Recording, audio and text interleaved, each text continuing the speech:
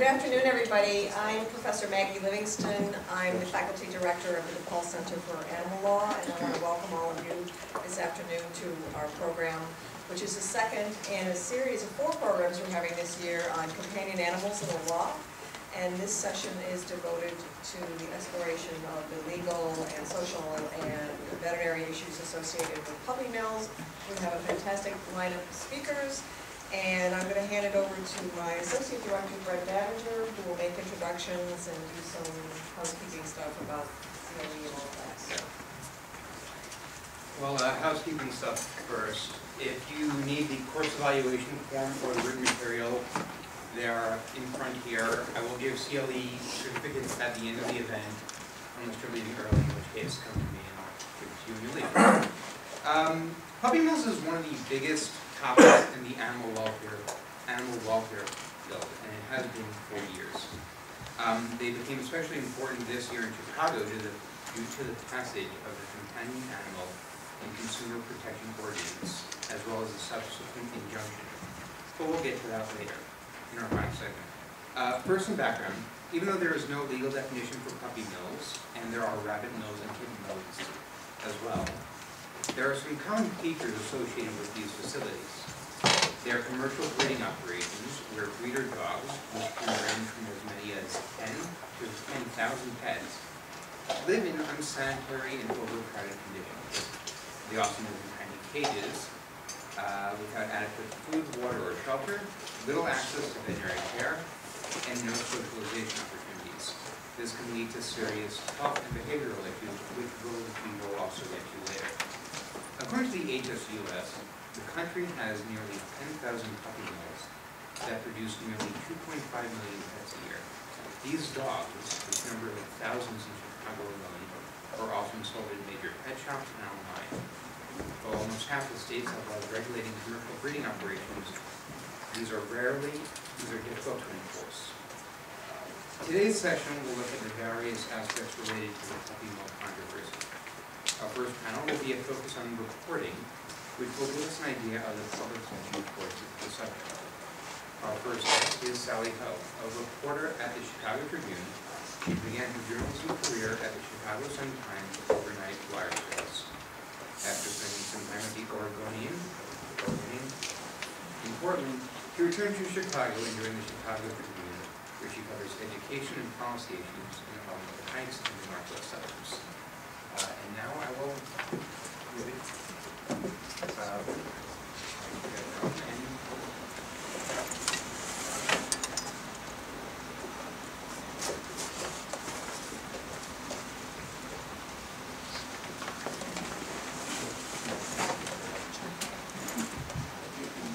Well, hi, everybody. Um, let me know if you can't hear me, but I think I'm pretty loud.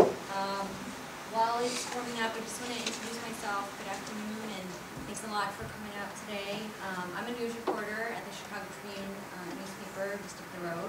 I've been covering the Cook County puppy mill case. It kind of just landed um, on my desk because it involves Arlington Heights. I, I'm uh, often based out of Schaumburg, which is, is an area that I cover. Um, I'm happy, I'm here to talk about my perspective covering the issue and the general feedback that we've gotten both from uh, what we hear from the players in the case, but also the general public, um, our readers. So thanks a lot for giving me some time to speak with you, and um, thanks a ton to the DePaul Law School for inviting me. Appreciate it. Um, please feel welcome to raise your hand if you have any questions. Um, I might be telling you a lot of stuff you already know about the case, but um, please feel welcome to let me know your thoughts. Um, I'm on Twitter, so it's a big thing for us. So if you would like to um, tell me, share with me your thoughts, The hashtag we use for this case has been um, hashtag TL Talk. Does anybody have questions already? Okay, um, so, first I wanted to make note that we, the media, typically on first reference will call it the so-called puppy mill, um, or otherwise say it in quotations in print, and, and that's because, as Brett said, there's no legal definition, um, of a puppy mill, but we, we do, we have decided to use the phrase to reference this type of um, abusive animal breeding, mass breeding facilities as a puppy mill because it's now become synonymous with both the movement um, and also that's how the average reader, you know, recognizes and understands the issue.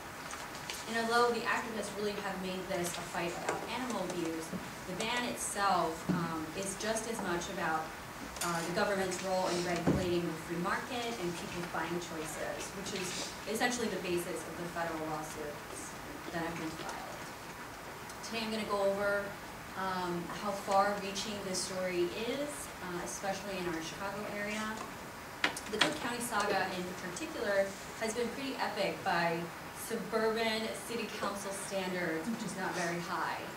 Um, but it's also really just a good case study of the issue too. Finally, I'll talk a little bit about how we tried to move, we the Chicago Tribune tried to move the story forward um, with the live chat that we that kind of brought out some interesting characters. Um, I guess my first disclosure is that I, I have never had a pet. So I have neither, neither went, gone to a shelter or bought from a pet store.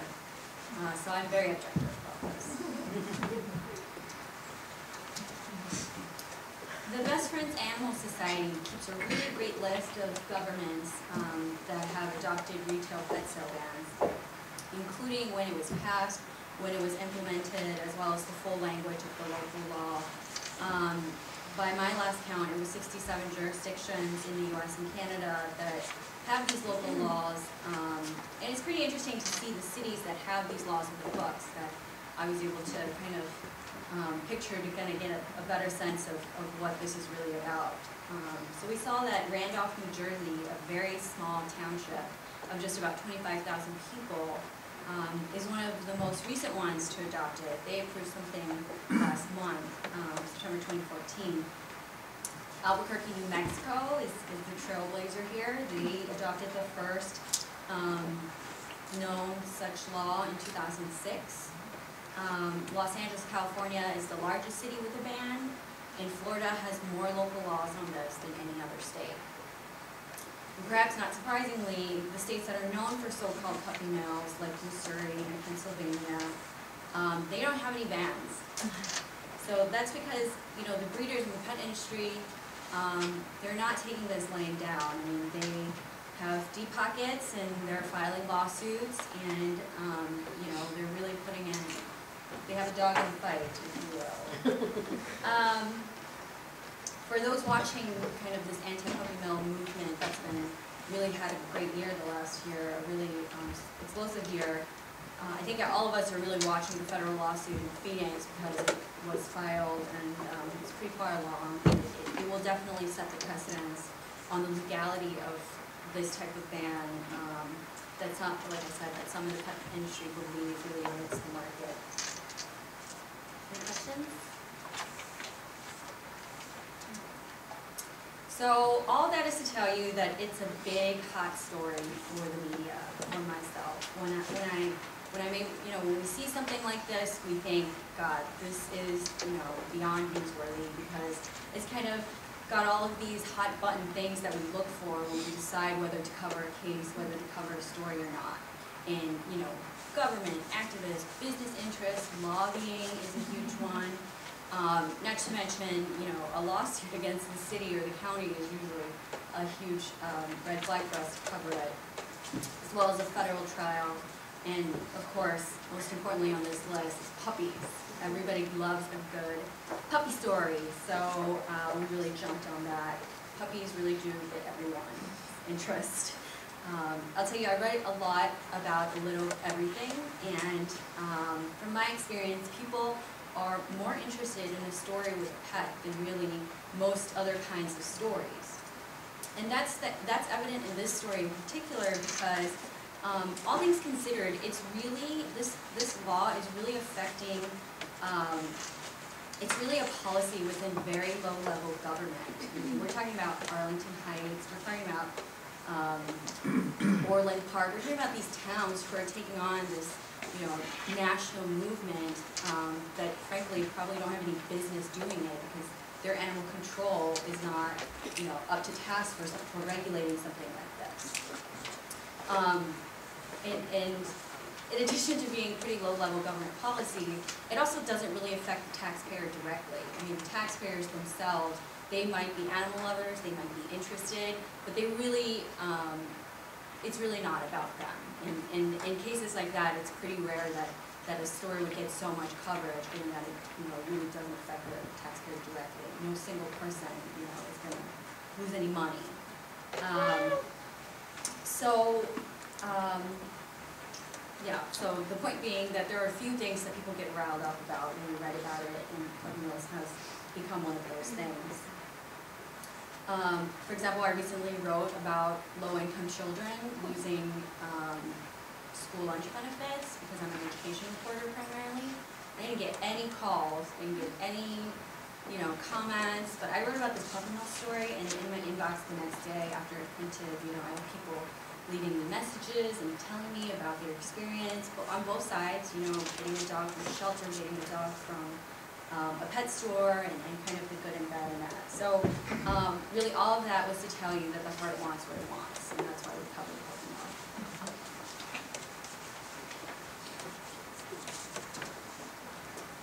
So the anti-puppy mill movement, as I said, has really had a banner year, um, especially in our Chicago area in 2014.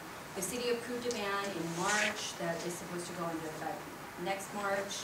Um, and Cook County wasn't very far behind. They approved something in April for, uh, what was supposed to be an October first implementation. Uh, it, it, that implementation, of course, is now delayed because there's now a lawsuit in question. Um, and then also Naperville, one of the largest uh, suburbs in the metro area, has been considering an independent ban um, themselves for months now. Of course, everybody is kind of on hold and holding their breath to find out what, what is going to happen in Cook County. Um, meanwhile, this hasn't been as, uh, as thoroughly reported, but the state has picked up on this too. They, last year they approved the puppy lemon law, which protected pet owners who got sick pets from stores. Um, but in August, just a couple months ago, the state actually increased the fines for violations to the Animal Welfare Act. And it should be noted that the face of that law in, from August is three third graders from Arlington Heights, Illinois. Um, you know, they apparently had learned about puppy mill abuses and called their state rep, like you're supposed to do. Uh, and, you know, was really the force behind this law in particular. And it was really um, pitched to the media and certainly, um, you know, that story was about these kids wanting to fight puppy mills. Um, They're future politicians. yes, yes, uh, those kids are paying attention for sure. Um, so now, if, what I talked about, newsworthiness, I mean, the only thing readers love more than a good pet story is a good kid story, and these kids were pretty adorable. Um, so it's just a good story all around, and both the puppy lemon law um, and the state law on fines, those were designed to be complements to this puppy mill movement. Um, I, I, there's been talk about a puppy mill law statewide, that hasn't gained a lot of traction, as you can imagine. Um, but it was, you know, it's certainly been talked about a lot. Um, basically, I'm trying to tell you that everybody was trying to get in on this action this year. With the Cook County case, um, I'm, I'm sure there's a reason why they're not here today, because they don't want to talk about it, given that it's pending litigation at this point. But there was a lot of going, a lot of stuff going on with the Cook County ban. Um, and if you can believe it, the approval process itself was extremely political.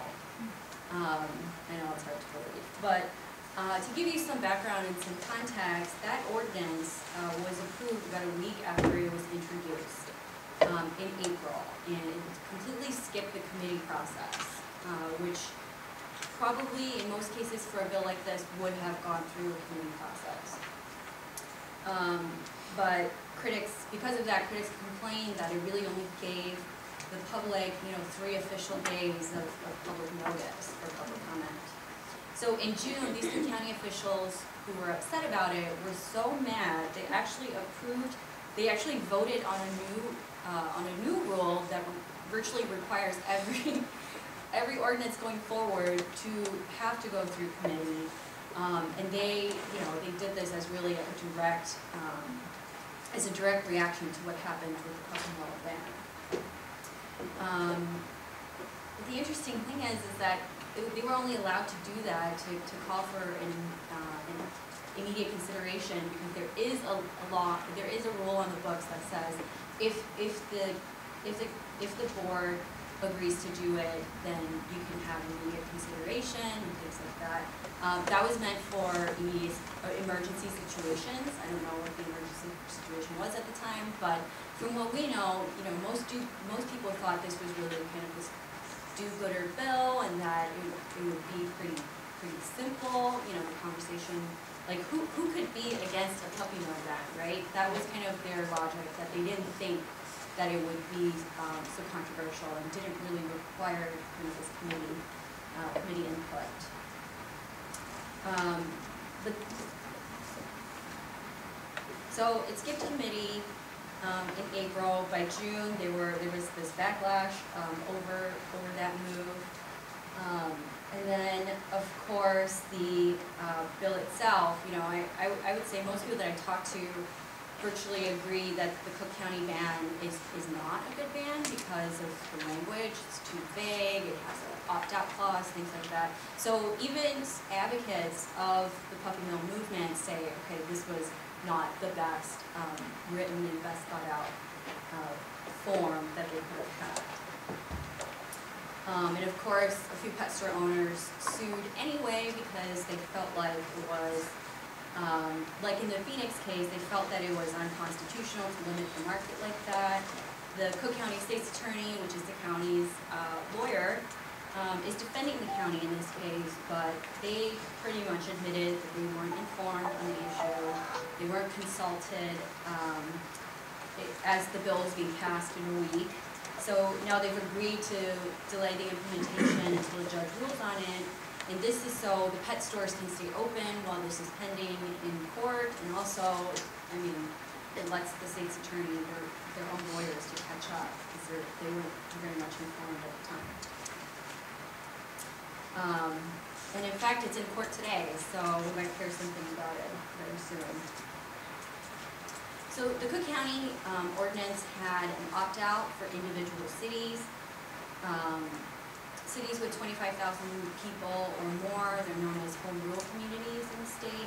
Um, and that basically grants them a, a lot of leeway to create their own rules. It's a fairly common clause for a policy like this, uh, like the puppy mill ban. Um, given that Cook County is, is actually pretty limited in its legislative powers on these individual jurisdictions that are rule, which many of them are in the metro area. So Orland Park chose to implement its own regulations. Um, instead of an outright ban, they came to this compromise that it was just gonna be, you know, stronger disclosure, more disclosure, signing off on, so that you know where your pet came from before you buy it. Uh, Bridgeview adopted kind of a general opt-out, they said, we just don't want anything to do with this. And, um, that was because there's only one pet store in town in Bridgeview, and the mayor essentially said, we trust this guy and we don't think we need it, so we're gonna opt out completely, so he can stay of business, he's a neighborhood store, you know, he's not one of these conglomerates or whatever. Um, so that's, that's how they felt about it. Um, interestingly, Hoffman Estates, um, they said they were asked to consider a ban. A pet store owner had gone to them and said, can you please opt out so I can stay in business, which is generally how these have, these have, uh, cases have kind of unfolded in individual cities. That local pet store owner in Hoffman Estates is one of the plaintiffs in the, um, in the federal lawsuit. Um, but Hoffman Estates hasn't approved anything yet.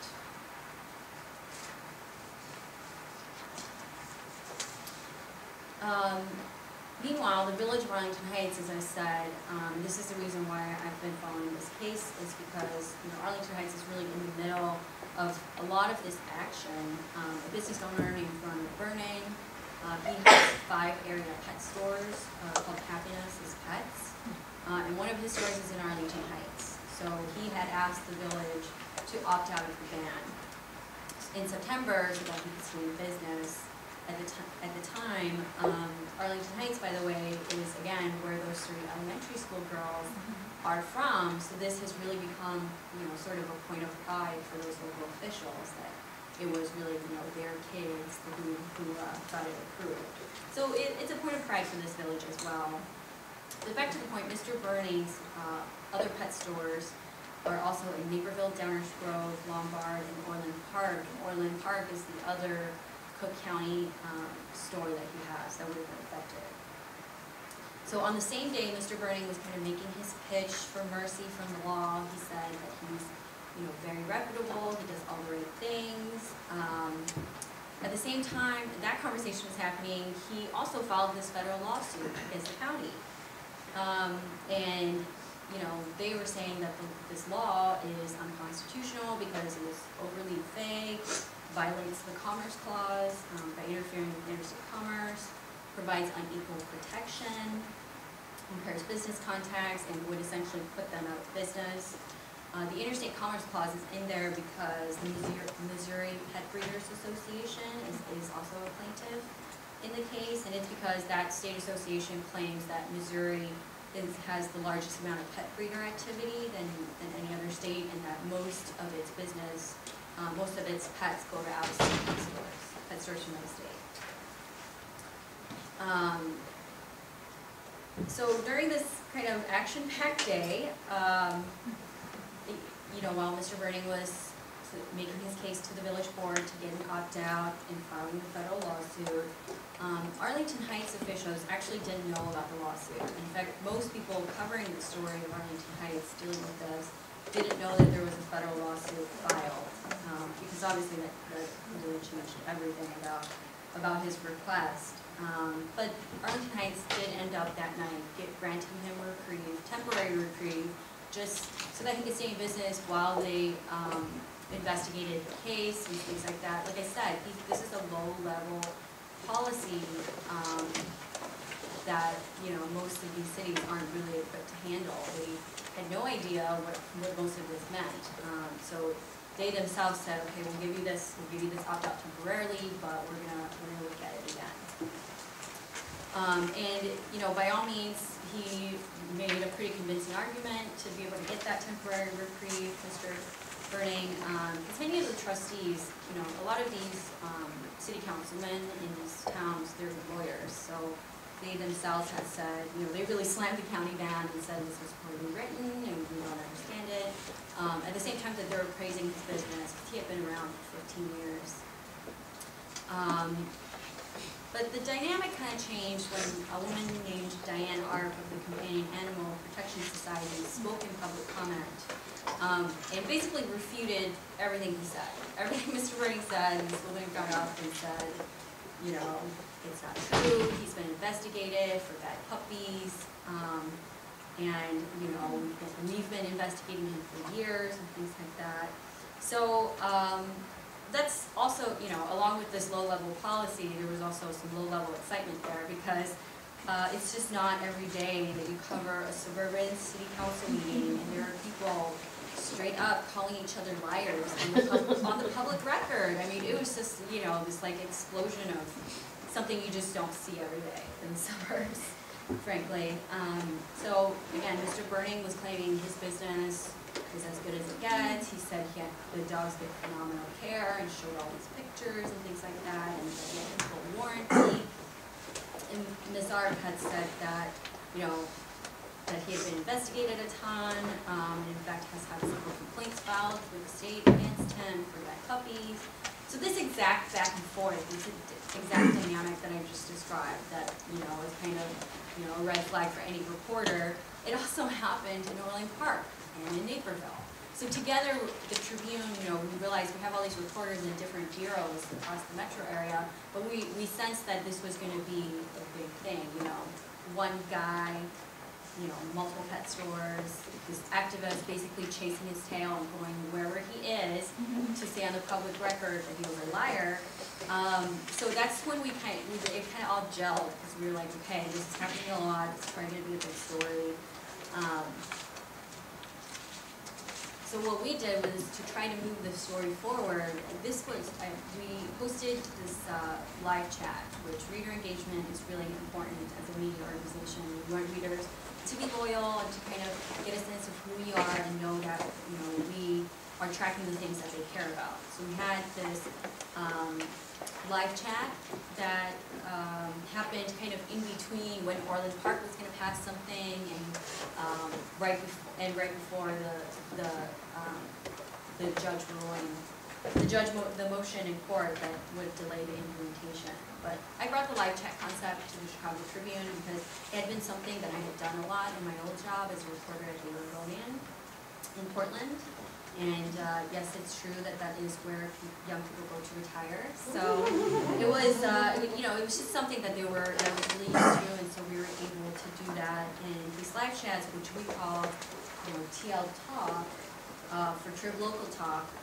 Um, it was to move the story forward, and it was supposed to be this kind of virtual conversation, just to hear from our readers what they were thinking. Um, cause oftentimes we get a lot of, you know, mail or calls, but, um, you know, it's a, it's, it was an effort on our part to kind of listen to them at once, you know, kind of have a virtual party so they can vent about how they felt about the story. Um, so earlier this year, we also did one on the lawlessness of BYOB policies for your own bottle. Um, so it, it- it's a, it's usually, we do them a lot for kind of hot topics that are gonna spread. Um, for this, we invited all of the big players in the Cook County case, um, but only Orland Park, the Orland Park trustee was the only person brave enough to kind of go, go, uh, before the people and, and talk on the record. Um, so he, he was in the hot seat, but he was a really good sport, so that was a really interesting, um, dynamic because it was just a couple days before they were gonna pass their own ban. So he was able to kind of tell us a little bit about that.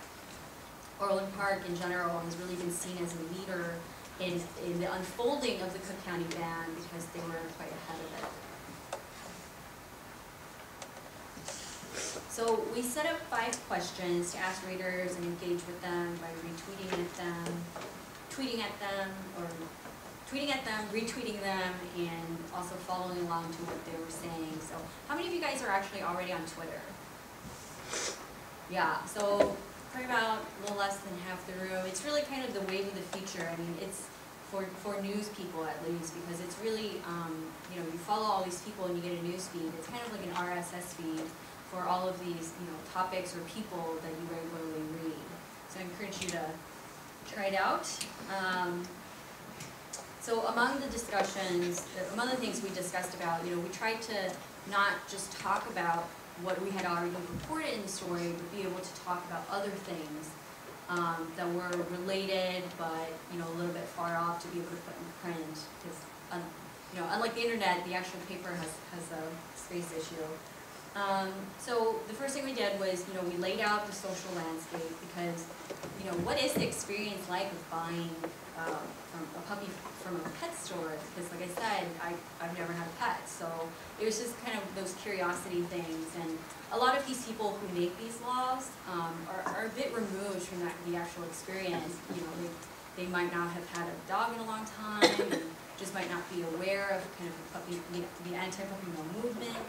Um, so we, you know, it, and, and, um, the other thing is that uh, during this policy review, they had really said, well, it's really not gonna affect a lot of people because there are only, you know, sixteen pet stores in the city and thirteen pet stores in suburban Cook County that would be affected. So that was kind of their, their thing, that, oh, it's just, it's, it's only thirteen stores, so clearly it doesn't even warrant committee discussion. Um, so, you know, we, we kind of threw that out there, it's just like, what, what is the social landscape here? Why do you decide to get a dog from a pet store versus a, um, versus a shelter? And we had one reader who said that he still thinks there's a stigma about buying, um, a shelter dog. That a lot of people still prefer purebred, um, and don't want older dogs, which is often what is available in shelter. Um, he said people still want the golden doodle puppy, which in my head, I never had pets, is, you know, Comet from Full House. So that's what I was thinking of when I said that. Um, and then we talked about, you know, the business landscape, you know, if people still want purebreds, um, where, where is this? If people still want if it's true that people still want purebreds, then why is there, why does there appear to be so much support for people who get a shelter dog, you know, that these, that really, you know, it's, it's, if you adopt a dog, you know, that's, that's a really good thing, right? It's like a volunteer thing and it's, you know, I mean, I don't think anybody looks down on somebody who gets a shelter dog, but, um, so we kind of talked about that because there was also this, you know, on, on the business industry side, they were really saying that, uh, you know, there's always gonna be a demand, and if there are no, um, USDA regulated pet, you know, pet breeders, if, if they don't exist anymore because of this puppy mill ban, um, then there'll just be a black market, and then it'll just be unregulated, is, is their point. Um, and, and, you know, conversely, you have to ask yourself, if most people are starting to get their dogs from the shelter, isn't that, you know, kind of a supply demand, a natural supply demand thing? Like eventually, there just won't be any more pet stores because everybody's gonna choose, you know, everybody's gonna presumably become informed and educated and choose to get a dog from a, from, um, from a shelter. Um, so, you know, the question becomes, can the free market kind of do good on its own? Um, or, you know, kind of work itself out, or is that unrealistic? Um, and that, you know, it, it's clearly a problem that, that really requires a law to fix it. Um, it's, like I said, some did say that it's clearly a problem if, you know, these USDA regulated breeders, um, even though they're licensed and they get, um, and, you know, they get, uh, those meetings and regulation things, um, that if those guys aren't good enough, then isn't that a problem with the USDA system, not so much with, um, not so much with the pet stores itself, but, you know, their argument is that you're really punishing the pet store for something that the government should be able to deal with, um, before it gets that far. Um, Another, another we, reader we had said that uh, vets should be a bigger part of, uh, conversation. And then we had another, the other side that said, well, these vets are often in the pockets of these pet stores because they, you know, they say, yeah, we'll pay for your vet equipment to make sure your dog's good. Um, So, it was just this constant back and forth, which is what made it kind of interesting for me anyway. Um, there was also mention from our readers that, you know, all this ban will do is force these pet stores to move across the border, that they'll start opening in DuPage and Will County and other counties that, you know, Lake County, um, who don't have the ban, which is just, you know, it- a poor business decision, essentially is what they're saying.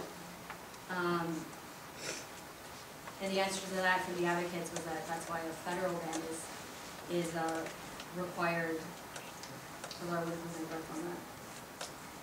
Um, one of the things that hasn't really been a part of the conversation or the coverage in the, co- uh, in any of these pet bans is enforcement. Because you can have, you know, you can have this, but how, how are you gonna make sure that people are following the law? I mean, are you gonna check every puppy and who's gonna pay for that? Which then would affect the taxpayer individually, so that's kind of something that we looked at in this, in this uh, virtual talk. Um, because if you read these bans, it's pretty, it's pretty interesting that, that um, not, most of them do not have, you know, any straightforward answer on how they're gonna make this happen. How they're gonna actually regulate this, this new law that we have.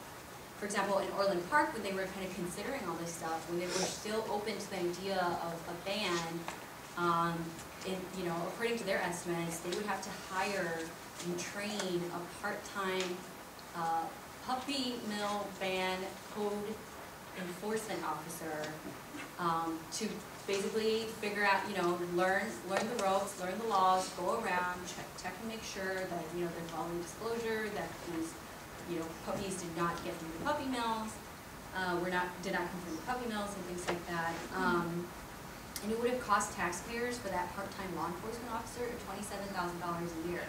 So that's when it becomes, you know, a, a bigger deal to the taxpayer and has broader, you know, kind of broader impact.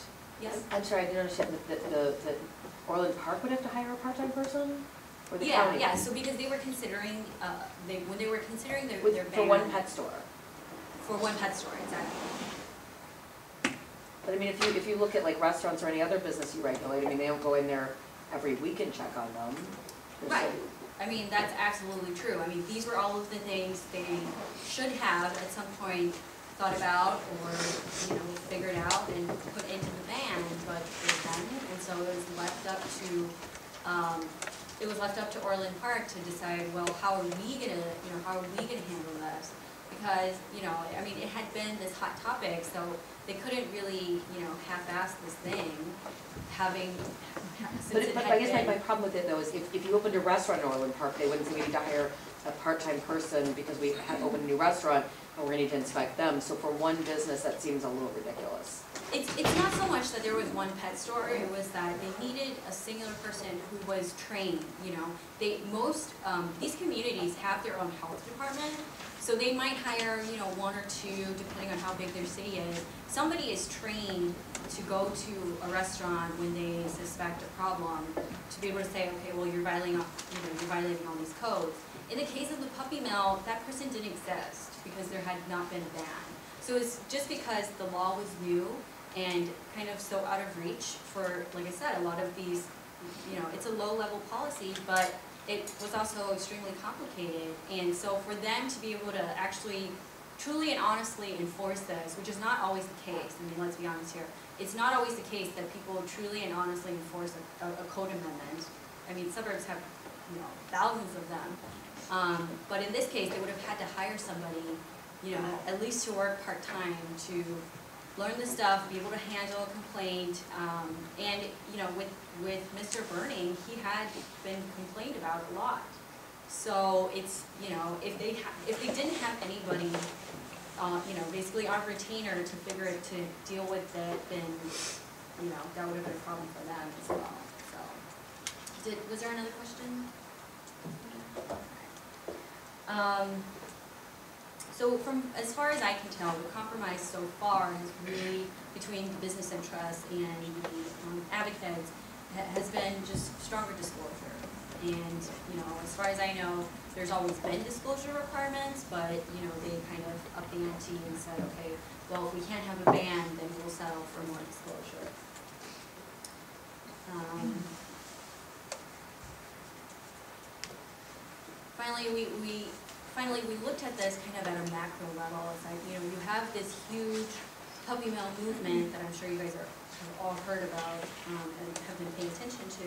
But at, at the end of the day, is the pet, are, are pets really better off with these bans? Are, and how do we know that? You know, how is it possible to know whether or not pets are actually better off?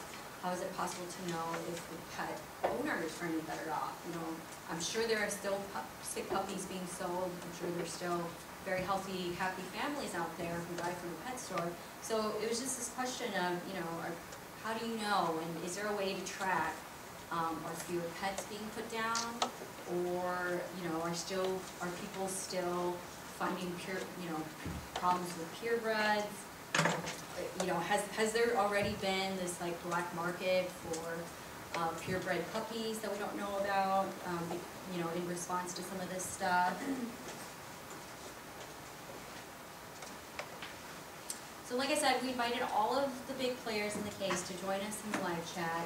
Uh, we invited the Cook County government, the Arlington Heights government, the Puppy Mill Project, which you'll hear from a little bit later, um, and the lawyer representing the pet store owners in the federal lawsuit. Orland Park was the only one who was brave enough to come talk to us, um, to answer questions live.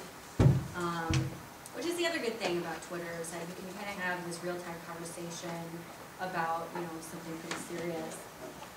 Um, if it's being, you know, posted by a Chicago Tribune or something like that. And I know, um, the Companion, Companion Animal Protection Society, Diane Otter, she, you know, I invited her to come be a part of it, and she, she told me she joined Twitter and figured it out just for the occasion, and so we were quite pleased with that.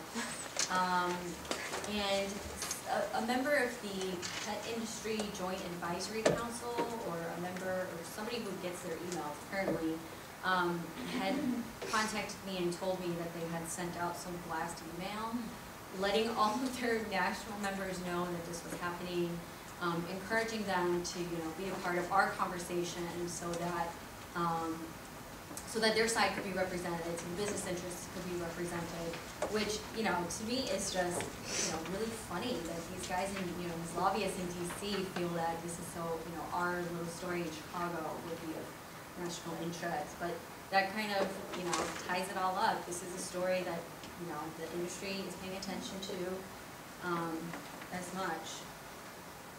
Um, I will say that overall, we probably had about two dozen people participate in an hour. Uh, we weren't able to kind of follow every thread because it, it, you know, some people kind of went off the walls there. But it was by and large very civil, which you really can't say about most online, um, interactions. So it was very, it was very civil because we really made it clear up front that this was not a conversation or debate about animal abuse. I mean, nobody thinks it's good to like kick puppy and do bad things to them. So we tried to focus in on the ban itself and kind of that unfolding. Um, but of course, like any public forum, kind of, you know, we had a lot of colorful comments, we had a few really sad stories about sick pets and irresponsible pet stores. Um, there was also one person who seemed to make these like really extreme, um, comments, like cage the puppy breeders. Which, you know, to me, it didn't really add substance to the discussion, but I, I described it to my editor as, you know, she's kind of being like drunk mom at a party. So it was, uh, it was pretty fun. Um, and that concludes my presentation. Do you guys have any questions? Overall, um, did the public seem, well, overall, what was the public sort of response to the puppy mill ban? Were they for it, were they against it, or was it, like I mentioned, because it's considered vague, they didn't really have, they didn't really know where to fall? Um, I, I think, like I said, because this story, I mean, at, at the heart of it, the average Arlington Heights taxpayer doesn't really care, frankly. You know, this is not, unless they own pet store, unless they are really entrenched in the movement, you know. And this is pretty common for a story like this, is that you really hear from kind of the competing interests. You hear from, you know, the DC lobbying group for the pet industry, and then you hear from, you know, these big nonprofits that have, you know, a real mission to defend the movement. So I think the average person, I, I would say that probably everybody who participated in our live chat or, or kind of commented, they weren't just like, you know, some, you know, soccer dad who happened to read it and was so like excited about puppy mills. He, most of the people who are speaking out are going to have their own interests. Sure.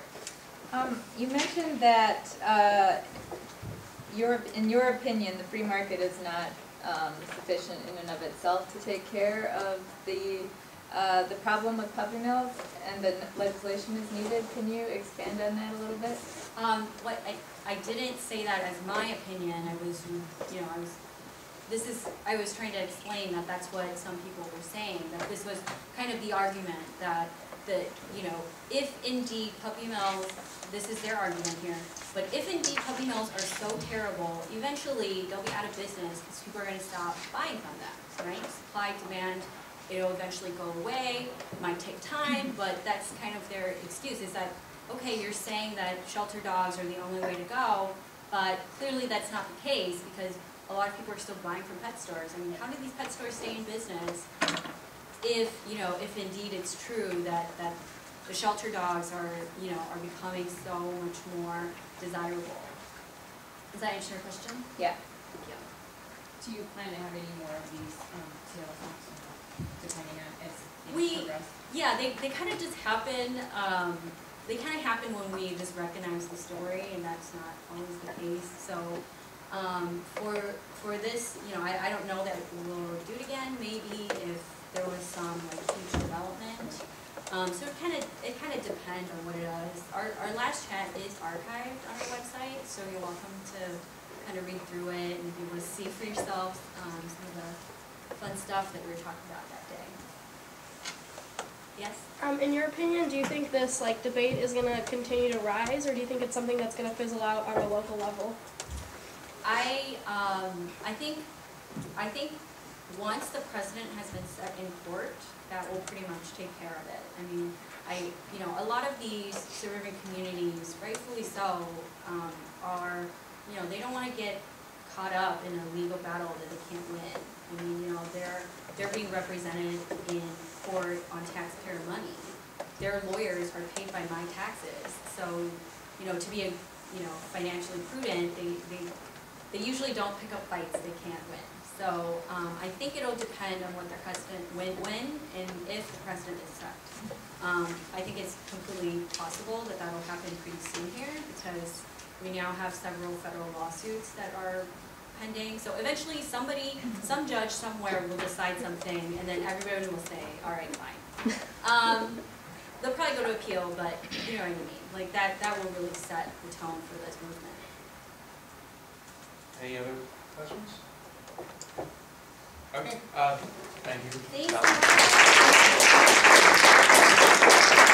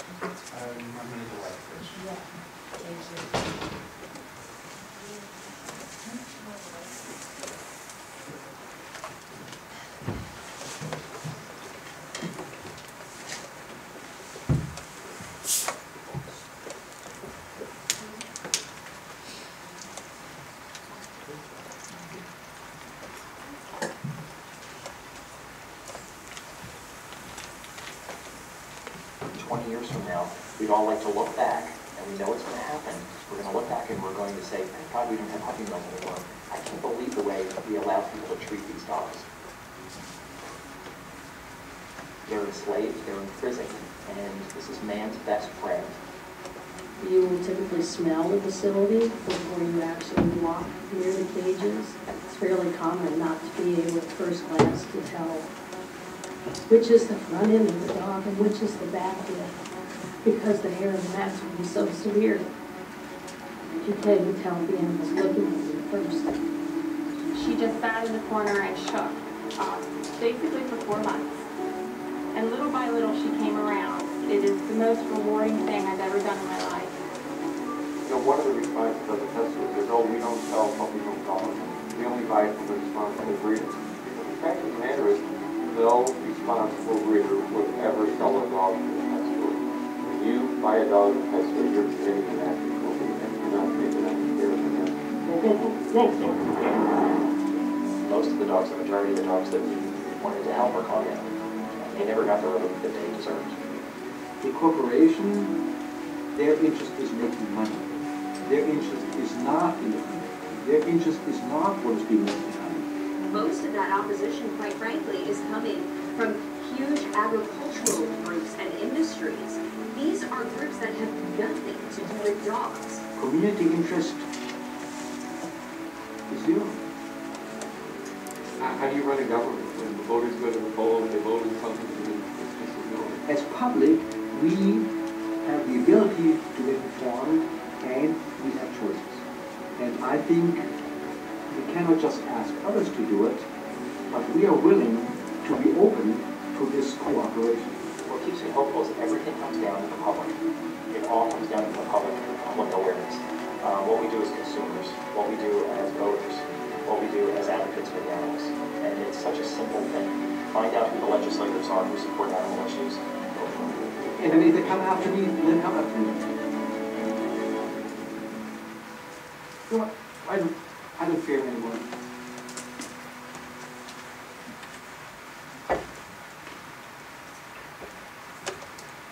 Hi, everybody. Um, I'm Chris Ksoll, and I want to um, share with you how this became, um, why there's a film.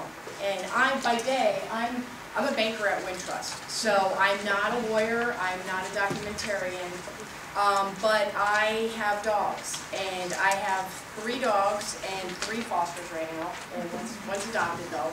So, um, but I, what, how this all came to pass was I had a puppy mill dog, and he had a lot of psychological issues, and I thought, oh my God, if I don't keep this dog, something bad's gonna happen to him. So I made a commitment to Brady, the, the middle, the middle dog of the three, and, um, but I was like, something's not right here. So just as a citizen, right, I'm doing, I do animal well, a lot of animal welfare is passion, but, but the puppy mill topic was starting to just really disturb me. Then I got a phone call from the rescue that I got the dog from, and they said, we have an emergency, we have a girl who's fostering, and um, she's got two breeder girls, can you take one? And I said, I don't know what a breeder girl is, but I'll help you, you know, is the girl okay, you know, does she need to stay too? I was like, how many, how many are coming? So, um, so they, they came over and this tiny ghost shell, seventeen pound shell that was barely alive, was put in my hands. And I said, what is this? And they said, this is a breeder girl. And I said, oh my God, like her organs are hanging out. Um, she looks like death. She could barely walk. And the list of things that I saw when I met this dog for the first time, her, it's, there's a, there's all sorts of technical words for it, but when the female organs, she's been bred so much, it's outside now. She had tract infections. She had worms. She's missing her teeth because she tried to chew through the chicken wire to get out. So she has no teeth except for the front ones. She had um, no fur on her tail. She had bad fur everywhere else. And just the worms alone and the tract, they could have killed her. So this dog was in pain. I said, how long has this dog been in a cage? Nine years. And I said, oh my God, if you didn't, to the rescue woman, I said, if you didn't get her, I said, Beth, if you didn't get her, what would have happened to this dog? Oh, they would have starved her to death or shot her because she can't breathe anymore. I said, are you kidding me? So as a, and I get goosebumps every time I say it, as a citizen, I was horrified. And then I thought, oh my God, and this little puppy I had, they, he would, he had all sorts of psychological stuff. To take a year to house train a dog is a long time. Uh, but I can tell you where to buy waterproof stuff. I can waterproof anything. But he, so I thought to myself, um, this is wrong. So I thought, I'm a banker, right? We prepare credit memos to go to committee.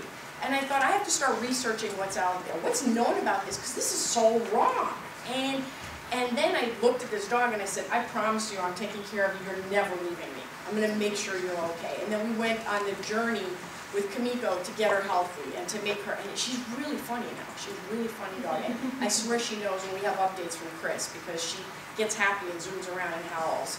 So um, she knows. But but so I so I sat in, in the living room with her and I was like, oh my god, I gotta I want I have to do something. So as a banker, I'm just like lawyers, right? You're trained to sort of make a case. I go to committee with a case file. My case file is a money trail. When I'm presenting credit to committee, I'm presenting a money trail. And I thought, you know what? I have to treat this like a business problem. And I was thinking, what forum? And I thought, okay, it can't be politicians, because I bet they're corrupt, and I'm a little bit afraid of the political system, probably rightly so. And I thought, okay, well, obviously, there's, there's not a lot of stuff, it exists, so there's corrupt stuff in here. And I thought, all right, what's the forum to get to the beginning of it? And it had to be the money trail. So then defining the money trail, thought, all right, now how do I get that money trail? How do I do that? You know, and as a banker, I sit with financials. I ask my client to talk to me. They're not corrupt. so I can take their information. Just thinking, what do I do? What do I do? What do I do? So I thought, okay, well, I got to get to the root of this problem. Then I saw Chris Grimes, and I'll, and I'll tell you how I got to Chris Grimes, but I saw his movie, Second Knock at the Door. And I thought, oh my God, I gotta do a documentary. This, we have to uncover all of the pieces of the money trail. Forget the dogs, forget the pet stores, forget everything else. There's a money trail here, dogs are not being helped, no one's, no one's for puppy mills. That means there's a money trail here, someone's making money off this. Who are these players and how complex is this? So once I decided that, then I had to pick someone to do this with. And I was like, how do you make a movie, you know? So I was like, all right, well, I gotta find the best person. I chose someone who is, has no ties to the animal industry, because this is a national issue, it's a policy issue, and it's bigger than just the animals, and it's a, it's a common thread in how we're doing this. We, we have no biases, we have no agendas, this is a very pure operation. So I said, I have to pick someone who's a fact finder. Chris Grimes is a genius fact finder. I bring her everything. Right. he's not my client, just so you know, just full disclosure, he's not. Um, but he, um, but I am his biggest fan. The, um, so the, the, the thought was that I need someone who can help me route out all of the components of this. What's the undercover stuff? He has a master's in public policy from Kellogg. That's, as a banker, I'm like, ooh, that's my guy, you know, right? So, um, so then I was like, okay, check mark on that. Then, then I needed to convince him to do it. Um, and he's not, he was not, wasn't an animal person. Now, you know, now things have flipped a little. I even had his, his wife help me save the pit bull the other night via Facebook, right? Lee, Lee was, I, I haven't told you totally how much we've immersed her in that now, but, but the thing was now, how do we, how do we get to really what the story is here? You're hearing all these, and as a banker, fragments bother me, right? I need a story, I need a cohesive story. And as he and I started talking, I was like, Chris, I'm fostering these dogs, um, and one store's closing, another, and I know as a banker, once you close a store, guess what? It opens down the street. That never's gonna fix the problem. In my lifetime, we, it won't close. So we needed something big, comprehensive, ties all the pieces together, and what I call, this is the outing of the head of the snake. The head of the snake is this film. Everybody that has to be gotten to is in our film. And now, when people are ticked off and they want to know which castles to storm, they will know who to storm now. I, my wish is that every Occupy Wall Street angry person goes and storms the castle of the people who will be outed in this film. And they're not, it's not the people that they're bothering out. So when, when everyone sees this full story and how it's laid out, I hope now the, all the lawyers are gonna be like, bam, now I know, here's a way, the, the, the clever lawyers are gonna say, oh, guess what, get them on tax evasion, right? That's how you get the low-level mob guys to get to the boss. So now let's let all these smart people think about other ways that they can get to cut off the money trail. And once they cut off the money trail, we don't even have to worry about the pet stores. This will be a self-fulfilling domino effect. Because it'll be, when we fix the front part of it, it'll be too expensive. They'll never get out of the mills. And the thing is, if you close the stores, there's still millions of dogs in the mills. No one sees them. So you close the store, you still have millions of dogs being bred and impacted. I know that's where Kamiko came from. She never saw daylight. She never got out. That bothers me. We can't have a solution. Forget the underground and moving around, the dogs that are still in the mills. And on my conscience, I just can't have that left behind as a residual to all of this. So it's not just the end user buying a puppy. It's so much more than that. It's those dogs that you just saw in the mills. So the first thing was we had to chart out what is known. What films are out there? Which films are out there already? What, what do those films say? So what's already said, now let's get all the stuff that's not said. Let's recap for the general audience enough so they can engage, and then let's tell them the stuff that's not known, and then let's put it together and weave the whole story. And that's why I picked Chris Grimes. His, his first movie was a movie about friendly fire in the military. It has nothing to do with dogs. When you see that film, I sat and watched his film. There was never a voice raised. If your 18-year-old son went to war and got shot down by another American, and everyone tried to cover it up, that's pretty emotional stuff. His film tells the story, he made policy change at the Pentagon, and it was, the facts were presented in a cohesive way, right? This, the, the, the, the way you tell it matters. When I go to credit committee, how I tell the story matters. My client doesn't get anything if I don't do this right. This is what Chris does that I could never do. So he tells the story, he found the facts, he wove the story together, then we got the right people to be in it, and the first thing, Oprah's special, right, was the number one thing about puppy mills. Everything that's known about the mills, the guys that Oprah put in her special are the ones who know it. They were the first guys we went to. We said, here's what we know, and they're like, oh, what are you gonna know that we don't know? We're the guys. Guess what? They said, oh my God, you did it, you figured it out. We're on board. And those are the two guys you just saw in the film, in the trailer. And so they're engaged. Everybody in the film is, has, has an important role. There is no agenda, nobody's agenda is in here, only the facts. It's very clean, and there's nothing anybody can fight because it's all fact-based. And that's why I wanted this thing pure. So, and Chris Grimes, this is, you know, I may erect a statue next to Michael Jordan at uh, the United Center when this is all done, because he is the Michael Jordan to me of helping get this past the, it's, it's true. I can't wait for you to see it. I'm gonna let him talk now, but that's, this is, you know, usually I start sobbing when I start talking about it. And usually I sob when I see the, tra- this is the first time I've seen it and I haven't cried. And I watch it like every day, so, um, so anyway, so I appreciate your interest in this because we want to harness you to be part, legislation's the only thing that matters. But you can't legislate if you don't know what the full story is. So once we give you that, I hope you guys are like piranhas in a goldfish bowl and just go, oh, here it is. Let's go, everybody go, and do something. So, thank you very much, and I'm gonna let Chris talk now, but Cool. I'll tell Um, Kamiko that uh, we were here. Obviously, it's great working with Chris, um, because she says wonderful things about you. So, um, it- I'll start out, I- so my background's in public policy. Um, That was what my master's is, and so I'm very interested in complex issues from a political angle as opposed to really anything else. I mean, I think that there's always a root cause, so whether it be poverty, whether it be, we're looking at a case, our next film will be about a Philadelphia organization on poverty. My first one was on uh, friendly fire, as Chris mentioned. So dogs, when Chris came to me, I was like, you know, there was a really good one on called Madonna in the Mills, where she showed a rescuer who goes into the mills It was horrific, most people can't make it through it.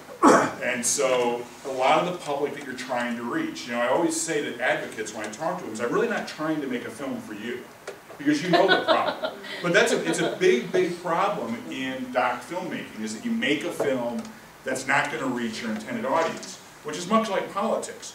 You know, you always know that you're, your guy, if you're a diehard Democrat or Republican, doesn't matter, if you just say every time you walk into the polls, and you pull that lever just for that person, and they know that, do they really care about your vote?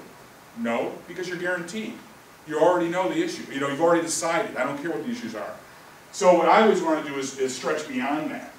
And so when we were looking at this issue, I told Chris, I was like, I don't want to traipse around a mill, I don't want to go undercover. Now, we did that in this, in the end, but I said, let me let me look for a while, see if I can figure out a way of looking at this from a public policy perspective as opposed to, you know, we've got to show you horrible images, don't buy puppies and pets. So I thought we found something that was rather interesting. So we have a lot of different areas in the film uh, that we cover, but I'm going to focus on three uh, to make it easy, and particularly since you're, um, you know, the political and the law side, focus on those type of issues. So the first one was how do we define a puppy mill in this film? The basic idea is, is that to a miller, these are numbers. Literally, they do not have names. So it's just simply a number. A good breeder, and they do exist, these are dogs that go into the house. They're socialized. They have a life that is beyond simply producing profits. So the idea that we define it is, it's basically a number to produce profits for a breeder. It's that simple. There's no other complex issue here. So they look at it like a commodity. So the only thing they have to do is to keep the females alive, to breed them, constantly. Can be up to three cycles a year. Bred, bred, bred, bred, bred. We saw them. This is not the life of a dog. This is not how it should be. This is the factory farming of puppies. That's plain and simple, that's where it is. So that's basically how we define it. So why, who's on the other side of this issue? Who's for puppy mills? Anyone in here? Could I do that at, at uh, Soldier Field on Sunday and ask that question? Would there be a lot of hands that would go up after we explain what puppy mills were? So why does an issue that seems so easy, what do politi politicians love? They love issues that are simple. So why hasn't this been dealt with? This is a federal issue by and large. So it goes back to the AWA, and the Animal Welfare Act of 1966. That brought large-scale commercial dog breeders under the auspices of the Department of Agriculture, which of course the Department of Agriculture, maybe it's not even the right place, to be honest, since these are companion animals. So it goes to the AWA, and that was the start point that got the USDA involved in large-scale commercial dog breeders. But basically, since that time, there's been no change to federal law in regards to puppy mills. That was a big question. Everyone knows Senator Durbin, right? He's actually in the film, we interviewed him. Do you know who David Vitter is? Vitter's a Republican from Louisiana. Have you, these two folks, do you think they agree on much? Probably not. They co-sponsored PUPS legislation together. The time before that, the previous one, it was called PAWS legislation, which was to raise the standards up.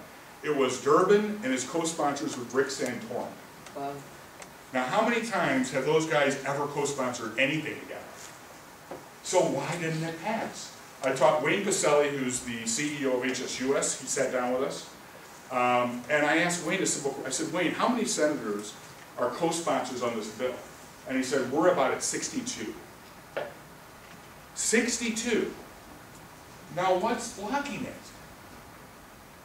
The idea, the blocking is coming in the subcommittee. What, what subcommittee does any puppy mill legislation have to go through? Ag. Who sits on ag? What states? Yeah. Iowa, Nebraska, Missouri, that view these as cash crops. This is not, this is unique, especially in today's world of, of hateful politics. This is not a right-left issue. This is actually a urban, suburban, rural legislative issue.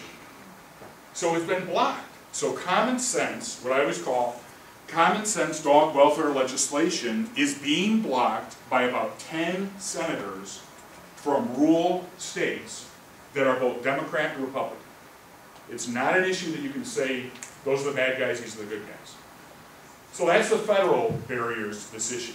So now to bring it to a state level, because a lot of states have attempted to make up for the lack of enforcement of AWA, they've attempted to do it at the state level. So I'll give you one example, which is Missouri in 2008. It was, uh, in 2010. It was called Proposition B. This was a major bill that was brought before, sponsored in large part by the Humane Society of the United States. They dumped $1.4 million into the issue. And it was basically heavyweights. One was the Humane Society of the United States pouring money in, and the other one was something called the Alliance for Truth. First of all, I love the name. They have Alliance. What, I mean, I've never heard of an organization be able to include Alliance, which they all love, and Truth. You know, we're the only ones. So that's why I did this bill. Because when I started to go into that, I was like, who is on the Alliance for Truth? Who's that other entity? So I've seen a lot of guys, you know, you see these photos of mills, and we've been undercover in the mills, these guys are all in overalls. But when I saw those numbers, I was like, there are guys in suits that are behind this, that are fighting HSUS, and who are those guys? So if you follow the money trail, I'll use it real simple here. So if this is the Alliance for Truth, this was a PAC, right? They moved money, it was created after we were able to obtain records by trade groups. Trade groups, there was three major ones. Pork, uh, soybean. Why soybean? Anyone know? GMOs. Yeah, well, well, and also, what do pigs eat? Soybeans. Soybean. Yeah, it's a major thing. And then the Missouri Farm So, pork producers in the state of Missouri, massive. Smithfield Foods, ever heard of them? They control ninety-eight percent of the pork market. Biggest player. How, are their cows in, are cows? Are, is their pork raised in beautiful, um, fields? No, they're in factory farming processing plants, right? So, this is the Alliance for Truth. Uh, I believe it's seventy-eight percent of the dollars that poured into this opposition came from these trade groups. Now, where do trade groups get their money from? Do they just exist on their own? Is it just people giving them money, or is it corporations? Trade groups are the face of corporations, corporate agriculture. This is Smithfield. This is Smithfield. Uh, Monsanto. All the big players were the ones that were fighting this common sense dog welfare legislation. Now they atta- attacked Prop B. The attack was HSUS is coming into your state and telling you what to do. First of all, that is so demeaning to voters in its own. But the other side is, did HSUS ever hide behind two different entities? Or did everyone know that they were behind this? Of course they did.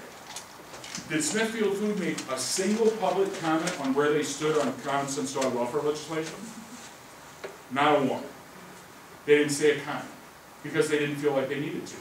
They created a false group, they funded it with ads, did a whole campaign, the race got really, really tight, and Prop B actually passed them. In the 2010 midterm, which was actually the landslide um, for the Republicans. So it's actually, it was pretty impressive. They won 51, 49%. Big victory, everyone said, finally, in the worst state in the country, common sense dog welfare legislation won. And guess what happened? Legislature went back into session, and guess what they did? They said, yeah, this isn't good. We're gonna have to repeal it. They repealed it. A constitutional amendment, they simply repealed it. Now, who do you think was behind that? Who do, who do politicians get their money from? In large part, is it from a lot of people in here just giving their twenty dollars? Or is it major agribusiness corporations in the state of Missouri that were providing the funding? They stripped uh, cage size, there ended up being a compromise bill that if you talk to some folks, I mean, it, it is a compromise and things are better. There's no doubt that things are better, but the bill itself was stripped. It still made no mandates on, there was a limit as to how many breeding cycles, uh, cage size, all those things were stripped. The things that would have really affected the life of a dog was stripped out. And it was taken away by the legislature just saying, we didn't really like what the voters did. So that's why we, I decided to do the film. Because when you see something like that, that works against how I believe we're supposed to operate. If the voters go to the polls and make a decision, that should matter.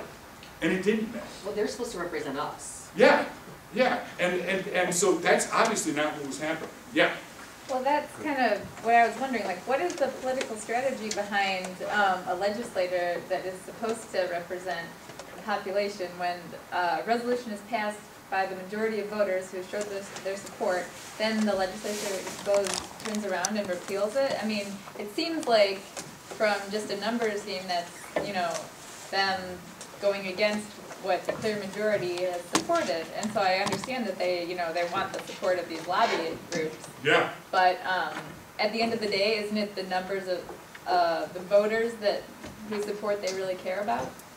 well, it- they should. Um, the, there, there's three important legislatures in Missouri. One of them, seventy-two percent of the voters in their district voted for Prop B, and he was the vote that, he was actually the majority leader in the Missouri Senate at the time. He's the one that voted against it and killed the, uh, and was what stripped it. He was also retiring.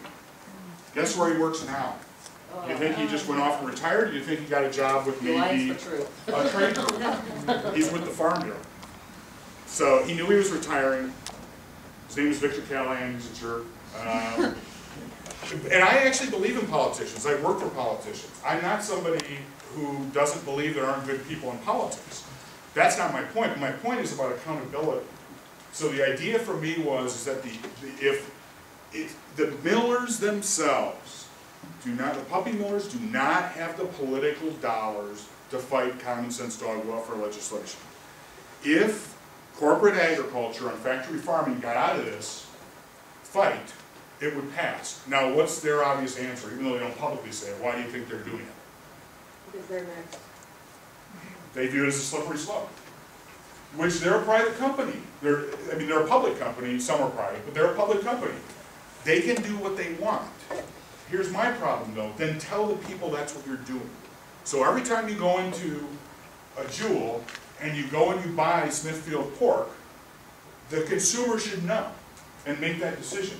I'm okay with Smithfield being allowed to do what they do. Um, my problem is, is that they're hiding. This is what I would call hiding.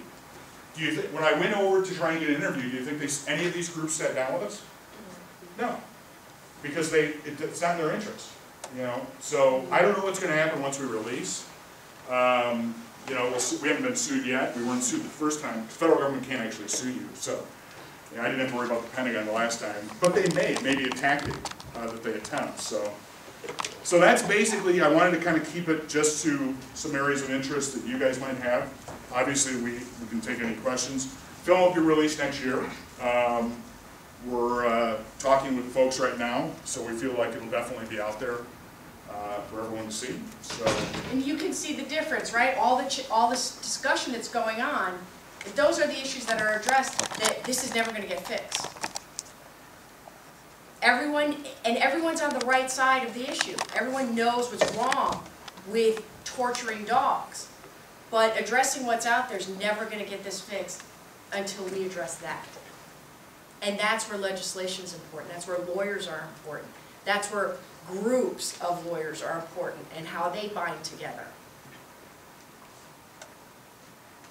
Yeah. Uh, three questions, two, um, two quick ones. Uh, one is the third group, the Missouri something or other, I can't read from here. Missouri Farm Bureau? Missouri Farm Bureau. Yeah. Uh, second, the name of the documentary is Dog by Dog. Yes. And third, and this is the kind of deeper question, and, you know, I can give an example by example if you, if, if you aren't, um, clicking right away when I ask the question. But, uh, sometimes you've got all kinds of, uh, any type, uh, animal law regulation, environmental law regulation, really any type of reform and any time of, any type of industry where the reforms proposed, and I was thinking about this when you mentioned the Durbin Vitter uh, legislation, and you'll get a camp that's against puppy mills, and some, some are in favor of a bill that regulates the puppy mill more, so that the abuses or perceived abuses, uh, puppy mills still go on.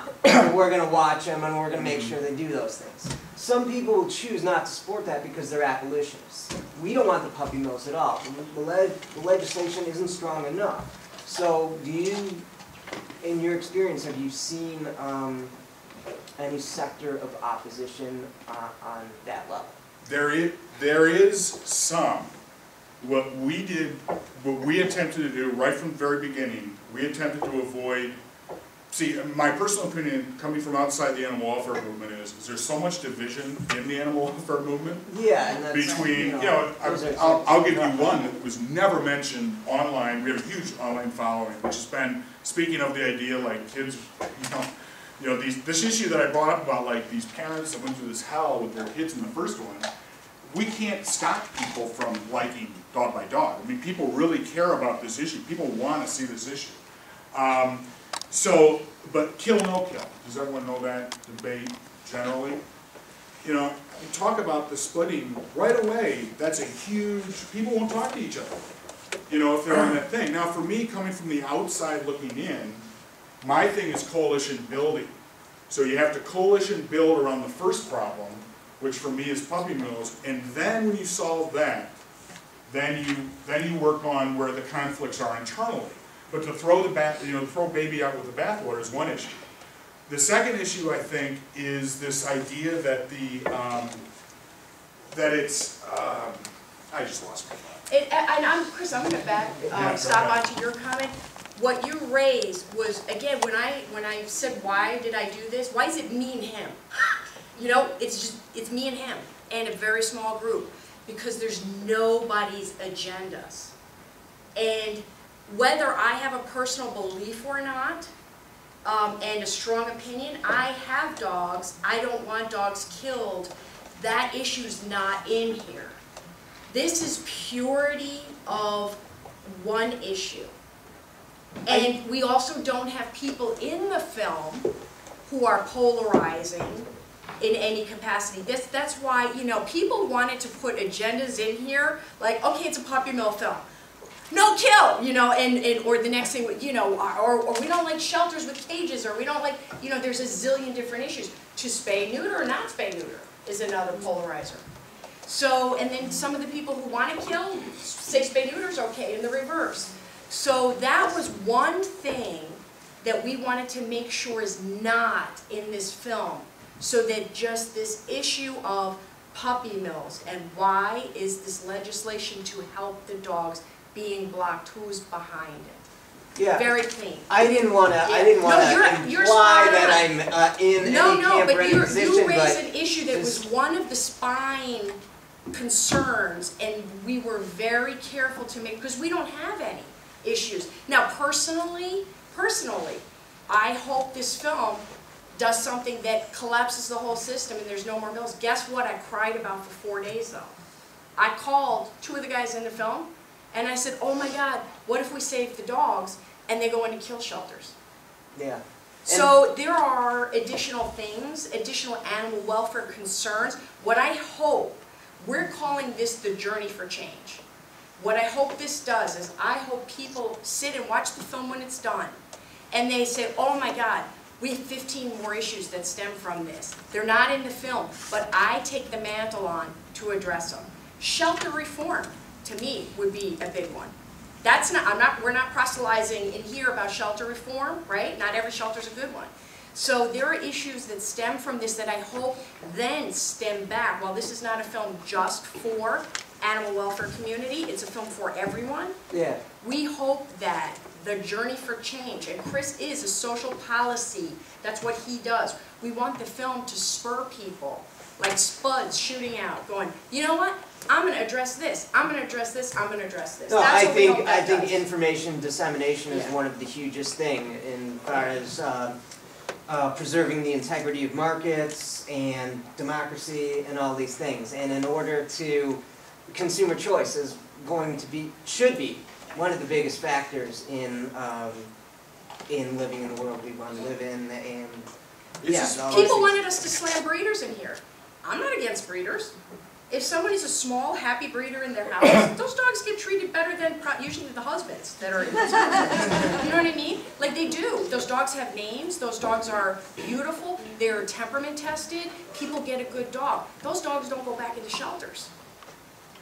And, and I wasn't talking when I, when I raised that question about um, sectors of, um, um, yeah, opposition on the well, potential sectors of opposition on the welfare side. Um, I wasn't talking so much about puppy, I really thought about it when we were talking about federal legislation and, and the ebb and flow of, of support on the federal level. And I, yeah, I, I was wondering that, uh, the ton of examples, I mean, one is animal experimentation. Uh, anytime anybody's suggesting reforms, you'll have some level of opposition saying, wait, we don't want to reform animal, we want to get rid of it. And, uh, I think on, um, uh, factory farming for food, uh, panel here at DePaul, it was sometime last fall, about a year ago, there's a speaker, Gary Francione, if I'm pronouncing his name correctly, he, um, he was criticizing, uh, the quote-unquote reform movement in terms of, uh, more humane killing. He said, wait, um, you know, all you're Everyone doing, all you're doing is Yeah. endorsing, um, keeping animals Mm-hmm. in captivity and killing them for food when I'm against that. So I'm wondering how much debate there I'll is on take that. I'll take a hit on that, I know, Right. We we'll are- take a hit on that. Right, we will. Because, uh, to be honest with you, and that's something that's always been kind of important to me. Do, does any of you normally sleep with a cow in your bed? Probably not many. It'd be hard and annoying, you know, it's a cow. So, but how many of you, or have parents or have friends that have the dog that sleeps next to them? You know, dog, the idea dog's is man's best friend. You know, and so that, there's clearly, I'm clearly making, the when I came into this film, a distinction between companion and factory. That doesn't mean, because we were outside of Smithfield, that I am for factory farming. But it, it does mean that in this case, I'm focused on this. I think the public views them differently. I think that, that when you look at opinion polls, there's a difference there. Yeah. Do you think that kind of working toward this puppy mill issue could bridge that disconnect? I think once you solve this, But maybe the- you open the debate. Perhaps the worry is not just a, a legislative kind of domino effect that, you know, we're next because you set this precedent and then they're gonna come after our pigs. But that if we could stop puppy mills and kind of, you know, expose this, you know, as really just bad behavior and we shouldn't be doing this to animals, that maybe people can, can kind of bridge that gap between, okay, this is a companion animal being treated that way and that's really terrible, we don't like that, why don't we like that? And then it does kind of lead you down this path of, well, we treat a lot of other animals that way and why do we draw this line? That, that maybe these, um, special interests are kind of concerned, you know, not just in a legislative way, but in an emotional level too, that people Definitely. might, you know, kind of fall down that slippery slope. And I'm, as a believer in free markets, I actually don't think you can regulate your way out of a supply-demand problem. And so that's where education comes in, is that we have to educate the, the person, the people out there. If you buy a dog in a pet store or online, you are supporting puppy mills. It's that simple. We saw the tractor trailer routes of Hunte deliveries because they have to file federal, tractors that leave Hunte, which is the largest middleman in Missouri. It's actually the largest middleman in the country. Breeders sell them, Hunte ships them to puppy stores everywhere, right? So we, we didn't obtain, but working with HSUS, they obtained the federal uh, driving records of Hunte trucks. And it showed where they're going. So if you don't solve the education issue, the idea that we're gonna have, you know, in, in a, in a time of austerity at the federal and the state level, that the solution is gonna be in the regulatory area, you're gonna get closer, and I believe that we have to hold those accountable. But as one example, so the USDA just added internet sales under their purview of puppy mills. They couldn't do it by legislatively, they did it by regulatory, regulatory change, the AWA, right? And so They have, in total, they have nine hundred and nineteen inspectors across the country that do large-scale dog breeders, circuses, zoos, um, uh, marine parks, uh, state fairs, um, and now internet sales. Now, if that's not blowing smoke up your ass, I mean, it, I mean, honestly, there was no change, there's no further funding.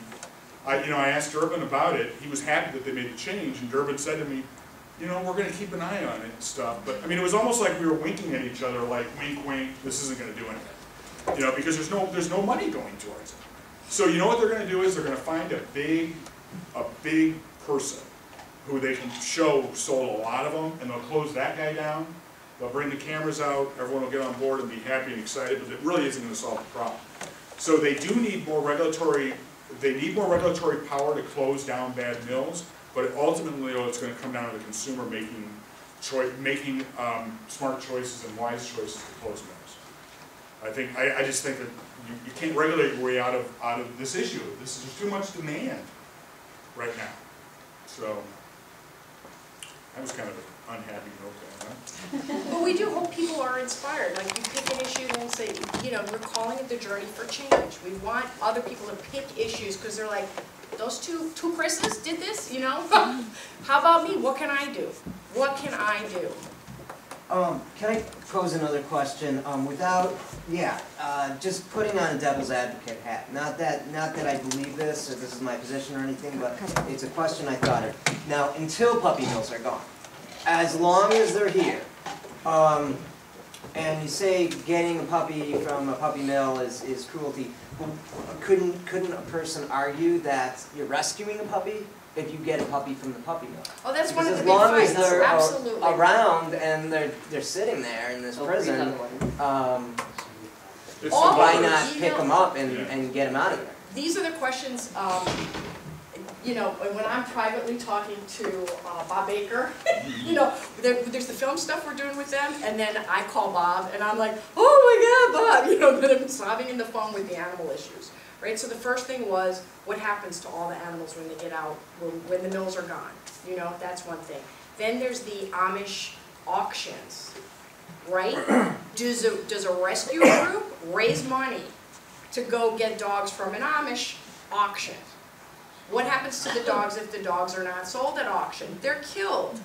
So you could debate that Yeah, and I'm back and because you, forth, and people will say, I'm not giving you money because you're supporting those creepy no, you are sparking me and you're giving me more information that, you know, I can discuss this issue with people and I can see what if somebody says that to me, you know, I, I There, don't know there, it exactly what to like Democrat and Republican, neither one is inherently evil. It's the people perpetrating in those masks that provide whether it's for good or evil. If someone buys the dog and it goes into a great home, like Kamiko, Kamiko, they pay five bucks when they go save them out of the mills. They get squeeze an extra five bucks in lieu of death. Five bucks in lieu of death, a torturous death. Because sometimes they shoot them and they don't die right away, so they leave them. So, so is that, is that good or bad that we paid five bucks to that miller? I would argue, as a citizen, my choice, living in America, was I choose to get that dog right now, because there's no other protection, and I want her, and I wanna save her life. And I've done it with lots, and that's how we got to name dog, was like, oh, dog by dog, we're saving them. But then we gotta make bigger change. So what we need is, we need to do, is, and Bob Baker is one who keeps me calibrated, he's like, we have to keep doing long-term change, because it takes a long time to get there, while we do the best we can now with what we have. And like Chris said, you have the choice to, to buy the dog or not buy that dog. You have that choice. Now, you the lawyer, I hope you're fired up and you go, oh, I'm gonna fix that. I'm gonna fix that. Well, information is, is Right. huge, and Right. I applaud you guys, and I appreciate the I appreciate your questions, because you're raising really important things, and, um, and I hope you become part of the solution. Everyone in here. I'm sorry, um, not- we're sorry. That's it, we're, crunched. Um, we're tired. Chris Grimes, Chris Ksoll. Dog by dog, dog by Um, Thank you so much. And uh, now we have the American Veterinary Medical Association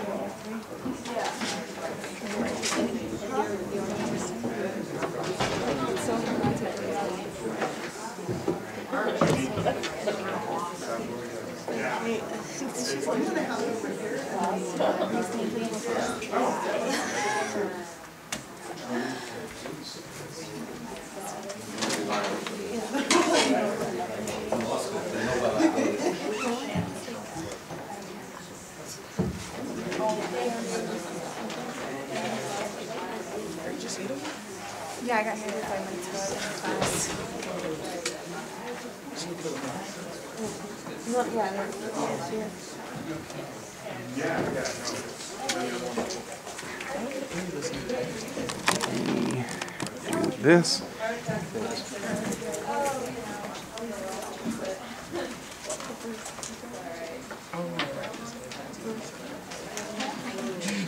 And, um, hello again. Our next two guests come to us from the American Veterinary Medical Association. Adrian Hochstadt is the assistant. I'm on the second. Oh, okay. And Dr. Kendall Houlihan is an- the assistant director of the Animal Welfare Division for the AVMA. Prior to working for them, she practiced for five years as a companion animal veterinarian in the Chicagoland area. She earned her undergraduate degree from the University of Notre Dame and her veterinary degree from the University of Illinois Champaign-Urbana. Following that is Adrian Hochstadt, the Assistant Director of the State Legislative and Regulatory Affairs for the AVMA. He directs the group's state advocacy program, which he helped shape since its creation in 2005. Adrian was also staff counsel with the American Bar Association, concentrating on prepaid legal services and lawyer specialization issues. Adrian earned his undergraduate degree from the University of Illinois Champaign-Urbana and his law degree from Northern Illinois University College of Law. He recently served as chair of the Association Forum of Chicagoland's Political Action Committee and Public Policy Committee. And, um, the floor is yours. Um, so as mentioned, um, Dr. Kendall Houlihan, um, my contribution to today's presentation is going to be outlining the veterinary medical concerns dealing with commercial breeding. Um, So, because there isn't a universal definition of puppy mills, um, I'm gonna use the term substandard breeders. For a couple of reasons, one being that puppy mills, um, infers that it's only the larger, um, organizations and operations that are causing, causing problems. Um, so the general definition that I'll use today is a uh, breeding program whose goal is the production of puppies to be sold for profit without consideration for the health and welfare or the quality of the breeding dogs or the puppies, um, which I think lines up very well with, um, how the dog by dog documentary was, was working with that. So the veterinary concerns can be broken down into five major categories, those being the welfare and level of care for the breeding dogs, then the welfare and level of care of the puppies, the quality of the offspring that's being produced, the insufficient or incorrect owner education um, that buyers are, are getting, and then the general lack of oversight. In the interest of time, we do have some, I'll also touch on some of the challenges to the development of standards and regulations from a a veterinary perspective. So, welfare and care of the breeding dogs. Uh, Preventive care is gonna be anything that we do to try to keep the animals healthy. Um, With vaccines, the rabies vaccine is the only one that's required by law and needs to be given by a veterinarian. Any dog in a breeding facility really should be getting distemper and bordetella as well. I don't know how many of you are familiar with distemper and parvovirus, those are kind of big things that puppies, um, they're highly contagious, um, issues with puppies, they're really deadly. Um, We certainly want moms and, and dads to be, um, to be vaccinated for that as well. Depending on where they live, there are obviously other ones that should be given, given to. Parasite control is really important, that's internal and external parasites, so fleas and ticks, that's gonna be a comfort issue, tran- transfers diseases. Um, internal parasites like heartworm disease, um, that's life-threatening, transferred by mosquitoes, and more like intestinal parasites, um, roundworms, hookworms. Very, very common in puppies, they usually get it from nursing with their mom. So we can have that control and prevention in the adults, that means we're gonna have healthier puppies. It's not usually life-threatening in adults, although it does affect their quality of life. Um, it can be really dangerous, um, in, in young puppies. Grooming is certainly touched on often when we talk about substandard breeders and puppy mills. We see these poor guys just covered in mats. Um, it just takes general, general care. Um, that matting, they can't see, they'll get skin infections, um, overgrown nails will get caught on things and damaged. They'll grow into their pads and cause abscesses. Um, it's not expensive, but it does take time, and that's certainly a corner that does get cut by people who aren't taking these animals into concern. Dental care goes along with that. Um, they can certainly lose teeth from trying to get out of these, these cages. They're also just gonna lose teeth from being older and not having anybody take care of them. Um, brushing's probably not in the cards. It's kind of challenging just to get in, for me to do it for my own dogs. Um, but we should be getting them in to see a veterinarian, get a professional dental clean under general anesthesia before we see such significant disease that we're getting gingival recession, bone loss, teeth falling out, tooth root abscesses,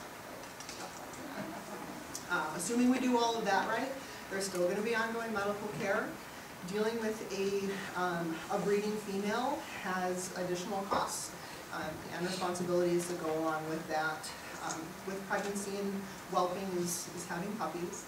Um, dystocia means they're having trouble actually giving birth.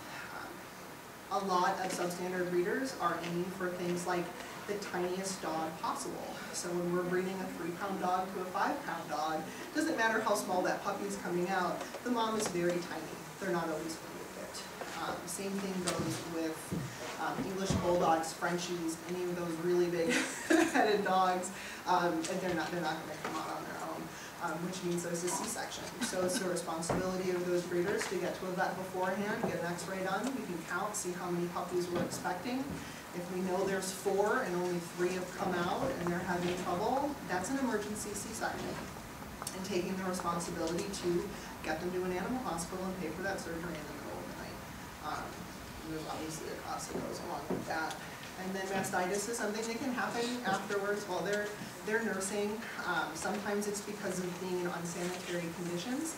Sometimes it's because there are a lot of puppies that are trying to nurse and, and stuff happens. But that involves um, significant infection that's going to um, cause fever, um, decreased appetite. Um, the moms aren't producing enough milk then in order to support the puppies um, and they're uncomfortable, they're not gonna want the puppies around them. So that would necessitate uh, a visit to a vet, get some antibiotics, get some pain meds, those things addressed. And then acquired disease. Every pet, anyone who owns pets knows that they have their problems that pop up every once in a while. I use the examples of ear infections or urinary tract infection because those are pretty common ones that we see. They're not gonna be life-threatening, but it's a quality of life issue. These are really uncomfortable things, and they can be signs of greater problems. Chronic um, or recurrent urinary tract infections can mean bladder stones or potentially kidney issues, and then ear infections can be a sign of an allergy, whether it be a food allergy or a seasonal allergy that really needs some attention. Um, age at breeding and frequency. Um, they can go into heat and potentially get pregnant. Six to nine months is old, It's pretty typical. We don't want puppies having puppies. Um, they're not physically mature, they're not behaviorally mature, they can't be, um, be good moms, they're not going to be able to um, appropriately train their puppies to be good dogs because they haven't had that opportunity themselves. There's a greater chance of those puppies having problems um, uh, right from right from the beginning, and then frequency. Um, if we're there's an obvious animal welfare issue with breeding these these dogs every time that they that they cycle. Um, housing, space. Um, we want to make sure that they have um, adequate space, so they have different areas for feeding, elimination, and then rest. Um, those wire cage floors are completely unacceptable, causes a lot of problems with, with paws. Um, we need uh, some solid surface for them to be on, someplace where they can retreat for security, um, so they can feel safe in their environment, and especially when they are um, having, having puppies, having a whelping box. So that's just gonna be a little area where they can nest, so they can have their puppies and feel, feel safe um, but still be in an area where people can keep an eye on them and make sure that, that things are progressing the way that they're supposed to. Behavior is definitely a concern um, with substandard breeders. Um, being in a cage by yourself all of the time um, is, is very detrimental. Um, daily socialization with both humans and other animals is going to be paramount. Um, that can be combined with exercise, going out for walks, being in a large enclosed area with other dogs to be able to play. Um, when they are by themselves, having environmental enrichment. Um, if they can't be co-housed with other animals, being in a place where they can see other animals, having toys um, and, and things like that. Diet's a really easy corner to cut as far as cost savings. Um, if you're uh, having a breeding animal, they need a really high quality diet. It needs to be readily available. Ideally, um, these animals are, are eating puppy food because they need those extra calories, and they need that nutrients, and that's through the entire pregnancy and nursing. Um, and then one of the sadder parts of it is what happens at retirement. Um, is there some sort of a plan for them when they're no longer breeding and, producing some sort of profit for these people? Um, are they abandoned? Are they relinquished? If they are keeping them, are they deciding to have them spayed at that point? So they don't develop a problem like the pyometra, which if um, older females are cycling and not becoming pregnant, they have a risk every cycle to get an infection inside of their uterus. And it pretty much fills up with pus and they die unless we get it out. And that's usually an emergency surgery in the middle of the night. So um, either having the forethought to have them spayed when they're no longer going to be bred or knowing that you might be responsible for, um, for that care um, for them if they do develop pyo. And then females who are not spayed before their first couple of cycles um, have a greatly increased chance of developing mammary tumors when they're older. So taking that responsibility to, if there is a nodule, getting that biopsy, getting it removed if it is malignant, taking the appropriate because they are the reason why um, they weren't spayed as younger dogs. Welfare and care of puppies, very similar to that of breeding dogs. Good diet, good housing. Behavior is almost more important in puppies. That socialization time between birth and eight weeks is huge. If they aren't exposed to other dogs, people, novel stimuli, um, they're going to be scared for the rest of their lives. Just being able to kind of go with the flow and, um, and be good house pets, a lot of that foundation is made during that, during that beginning time. So if they're just kept in a cage by themselves with their mom or removed um, from their mom as soon as they can wean and shipped out, um, that's gonna, gonna have some major problems. Preventive care definitely starts before eight weeks, which is usually when we see them um, moving on to the pet stores or, or directly to, to owners. Uh, but it's going to be different depending on where they're at. And uh, ideally, there's going to be a veterinarian involved in developing that program, dealing with any kind of medical care with problems they might kind of come up with. Uh, Having adequate identification and record keeping. As a general practitioner, um, seeing puppies from a lot of places, it would just say puppy number two and have stickers of what vaccines they got and dewormed on these days. It wouldn't necessarily be what kind of medications they were using, if the dog was male or female, um, defining characteristics as far as color. So there was no way for us to really show that these medical records went with this particular dog, and even if it did, it didn't have any worthwhile information on it. So if we want to have any reasonable continuation of care, there needs to be a standard for that, and um, there aren't medical record standards for are breeders. And then age at weaning and sale. Um, Taking them away from their, their moms when they're four weeks old, just so they can get them out, um, to save costs. It's a really big issue. A lot of states will have rules. I keep using eight weeks because that's what I see most often. Um, but I definitely saw eight-week-old puppies based on the birth dates that I had on their paperwork, and owners say, oh, I got them two weeks ago, oh, I got them a month ago. And uh, that's, we're already setting them up for failure with that as far as challenging their, their little immune systems, not letting them develop behaviorally um, appropriately. And uh, these consumers, the owners don't realize, uh, I think at the time, that they're, they're setting themselves up for, for a lot more than they originally expected.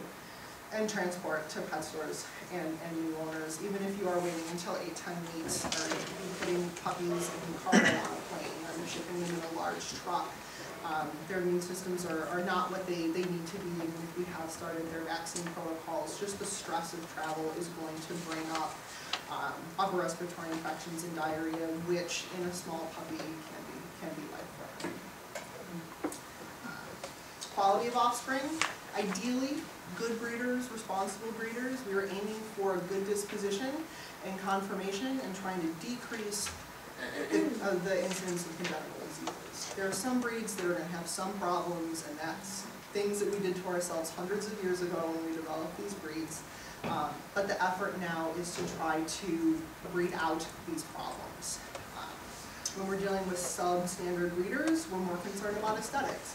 We want to make the smallest dog possible. We want these colors that are uncommon.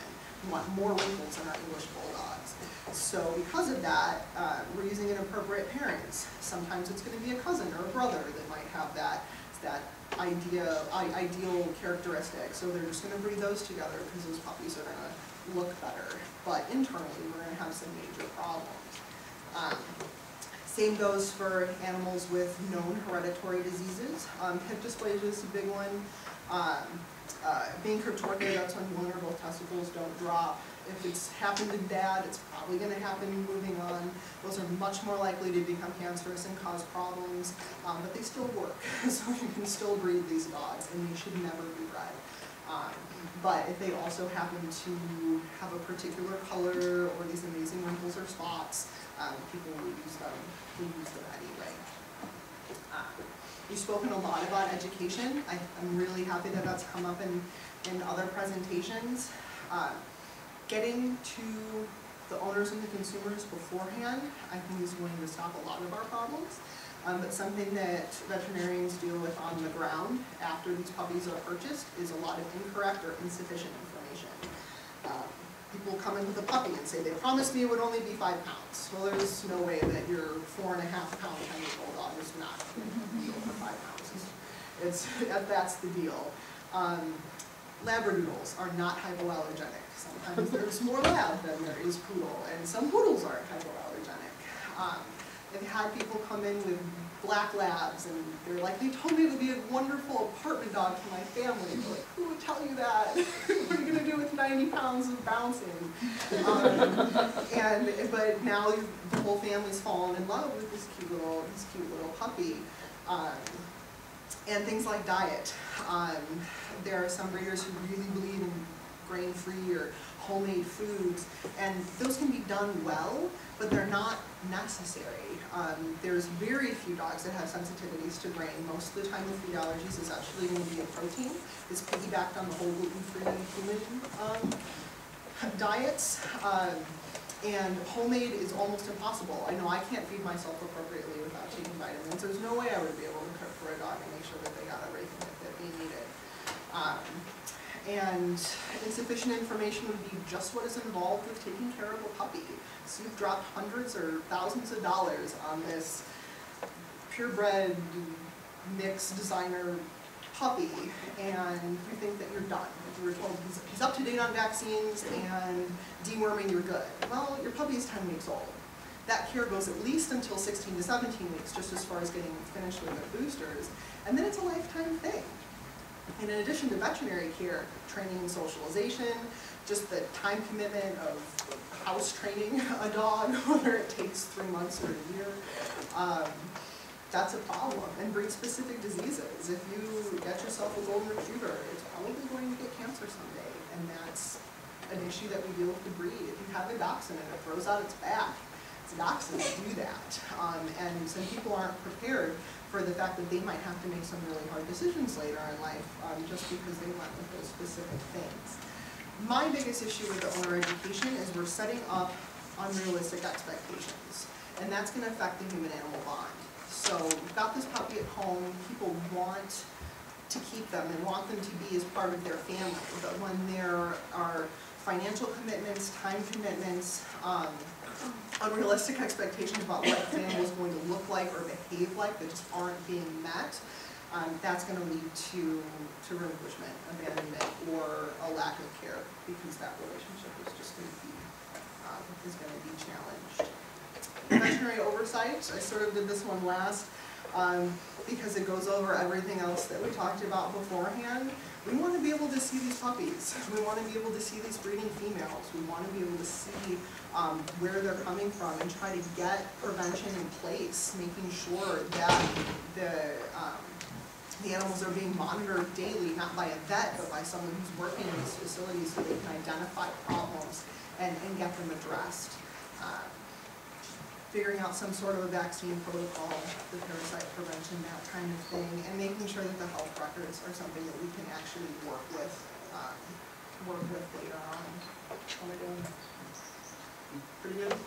Alright, so, um, real quick, uh, these are things from on the ground that I see as a veterinarian as being challenges to making standards and regulations.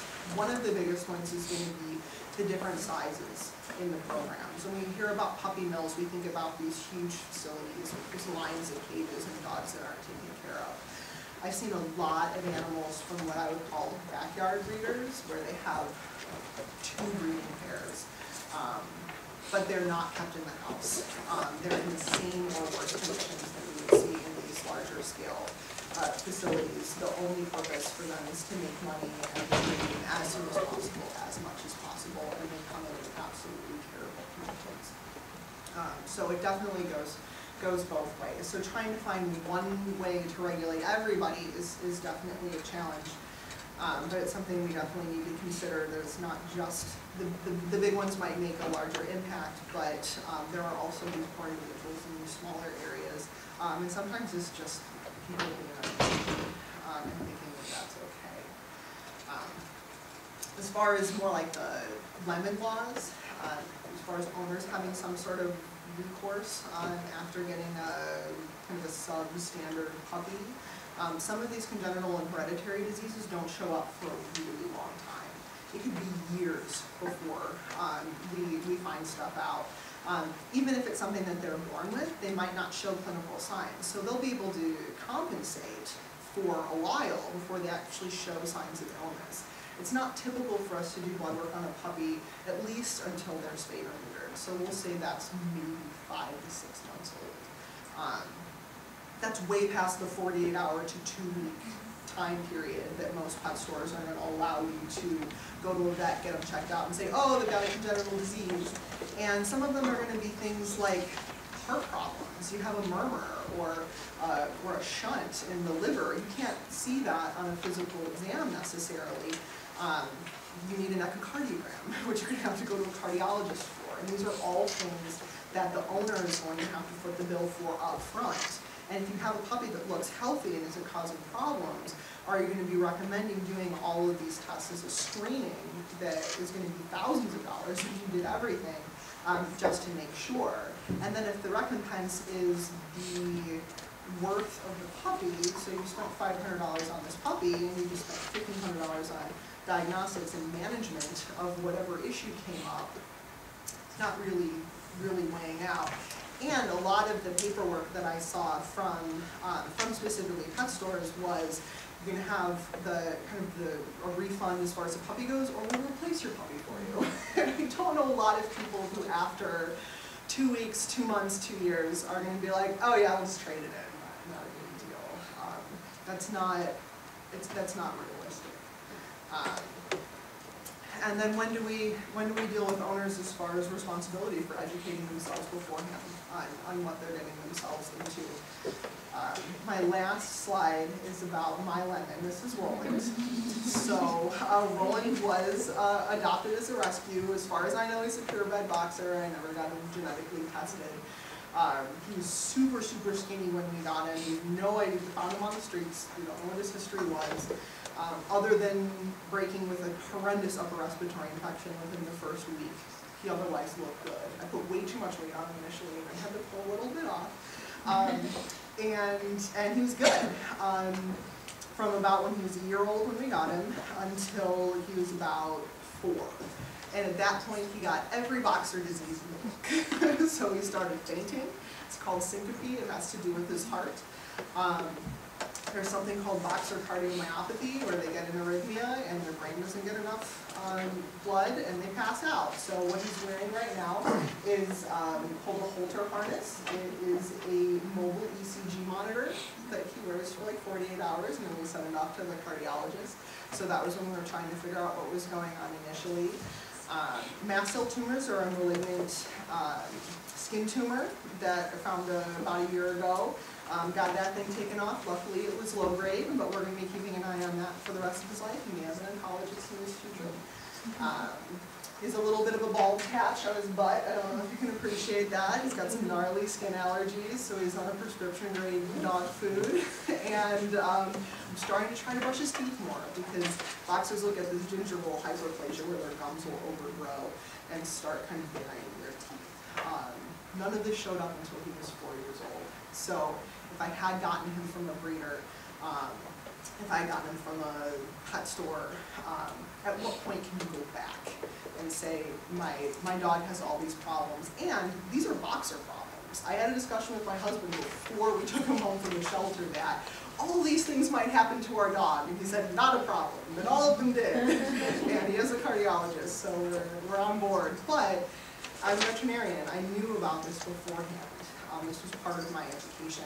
Um, this, you can Google boxer problems and come up with all of these things, but I don't think a lot of owners do. Um, so there has to be a balance, I think, between owners taking responsibility for what kind of animals they're bringing into their homes and knowing what they're getting themselves into, um, and getting that information from, from a, a reputable breeder is going to prepare you for some of these things. Ideally, you're not going to be dealing with this, but what we don't want are um, people giving dogs and saying, well, you have a health guarantee, everything's going to be fine. Well, dogs get sick, problems happen, most people get lucky, um, but you still need to be aware of the fact that um, sometimes you get a lemon. so um, I'm going to pass things off to Adrian. Um, he is the, the more law expert here, and then we'll take questions at the end.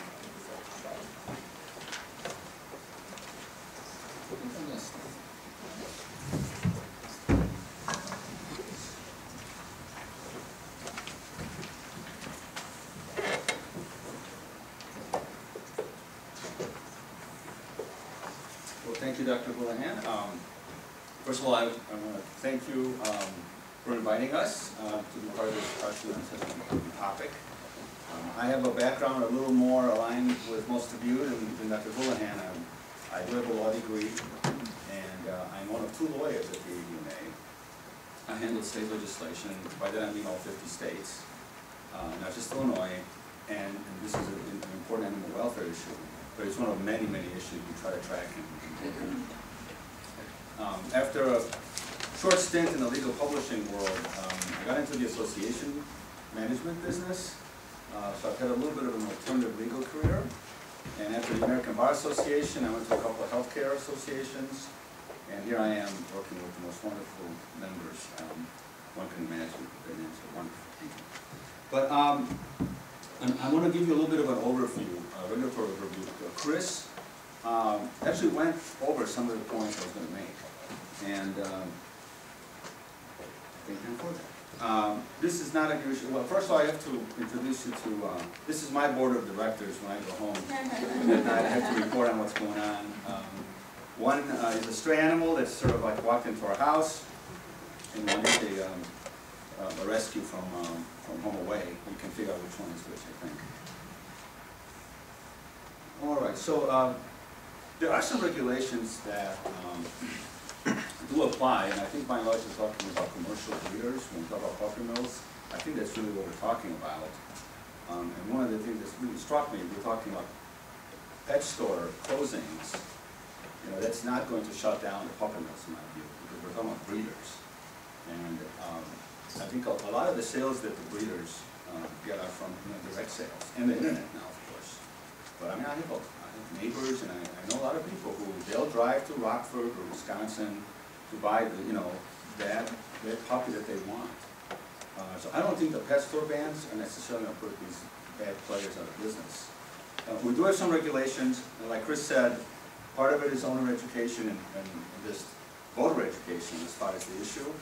Um, and, you know, not to, not to, um, not to be customers, Uh, you know, if, if a pet store, um, has a bad reputation, you know, uh, that should affect their sales, there should, there should be a supply and demand, um, you know, penalty, so to speak. But we do have regulations, and I think, um, that is another, uh, tool in, in putting these bad players out of business. The Animal Welfare Act at the federal level has been with us for a long time. Nineteen sixty-six, I included the, um, the citation. Uh, it requires some basic standards of care, um, applies not only to breeders, but, um, also to transporting, uh, animals and exhibitors. Um, it was, was mentioned earlier, uh, it does require licensure for people who breed and sell dogs and cats for use as pets, and, um, and dealers, uh, who supply the dogs and cats to pets, pet stores. Very important exemptions, however, uh, if you look at that second or bullet point, household pets sold directly at retail. And it was changed to, to be physical, physical presence, so internet sales are now, now covered, which was a, a major loophole, uh, that the Animal Welfare Act needed, um, some regulatory explanation. Hobby breeders, some of the small breeders that uh, Dr. Houlihan talked about, um, if you don't own more than three breeding females, um, you're exempt from the federal law. So, um, as a result, we've seen a lot more state activity over the years, which I'll, I'll get to in, in a second. The Federal Animal Welfare Act includes standards of, um, you know, care, treatment, sanitation, nutrition, uh, veterinary care, um, a number of uh, items that are required. And they do inspect. I know we've heard that the regulatory system enforcement um, is not up to par. Um, I actually went on the website of USDA and I have some statistics for you. It appears that most of the breeders and kennels are inspected about once a year. If there are complaints, if their um, uh, inspections show problem areas, they will be inspected as often as uh, every three months. Um, Those without problems, every two to three years. And the latest year I could find is 2010, and you can look at the numbers. Uh, These are just the breeders, 32, uh, 3,296 licensed breeding facilities, uh, and it has roughly 3,500 compliance inspections, 544 pre-licensed. So I mean, there are inspections. Um, we want to see more funding and, you know, a little bit more um, enforcement? Absolutely. But then, I just wanted to have these numbers up because you hear a lot of different things and and these are uh, So with all, with all those inspections, how many violations have there been? Um, the website does include that. I, I think there are, there are a few, but obviously, Okay, but you're saying that there were sixteen thousand six hundred ninety-nine inspections, and you're saying there were a few violations? I don't have that number for it. I mean, Um, but that- doesn't that cause you concern? well, um, it would, I'd like to see a vigorous inspection process. Um, What I'd like to see is, um, you know, regulators actually be able to, to tell us. I would love to see somebody from the Illinois Department of Ag or USDA, because I personally don't have, you know, that type of um, knowledge. This is one of many issues that we're, we're looking at. Um, So employ five people for the Illinois Department of Ag to inspect hundred and two counties. So, I mean, just, just, that's pretty difficult for them, just even to come and do the inspections. I agree with you, I, I I think that needs to be. I have the numbers for Illinois, um, Department of Ag coming up too. Because I was curious, like, you know, um, I suspected Illinois, given the, the state of the state finances, is, is probably not inspecting as often as it should. And the numbers are not quite as high as USDA, but they're actually higher than I thought. Uh, To fill in the gap, and I think Chris mentioned this too, states have begun to uh, regulate commercial breeders and, and pet stores to some degree. Uh, You know, our is thirty-eight states and DC um, have adopted some sort of regulation, and most of these laws have been adopted in the last ten years. There's been a lot of activity, I think HSUS was behind a lot of the bills. Um, And these regulations, as you can imagine, thirty-eight states, they vary greatly um, on a number of, of issues. Uh, Just to give you a sampling, in 2014, Minnesota and Connecticut are the latest to adopt statewide regulations. Um, And in these, uh, this regulatory environment, we've seen a lot of bills that we thought, you know, the, um, they could be written a little bit better. And so the AVMA uh, put together a task force, and ultimately the executive board approved a model bill, um, which applies to high-volume breeders and retailers in the pet stores. Um, And it's available at the AVMA website. I have the um, URL there. Um, Has a number of items uh, to ensure that the dogs sold or distributed to the public um, are protected. And it doesn't really get into the facility type, it's just one standard. It's a dog welfare standard applicable to um, all facilities, whether shelters or or kennels. The pet store bans, yes, question. So with the um, uh, model law that you were just mentioning, is there any, just, what would the enforcement mechanism for that be? Because as we've just discussed, the USDA already, um, you know, somebody could, could say that enforcement is quite lax and has a lot of deficiencies. So if you're talking about uh, increasing those standards and there's even more to monitor, more to enforce, um, has the AVMA thought about what that mechanism would be, how that, how how you would implement that?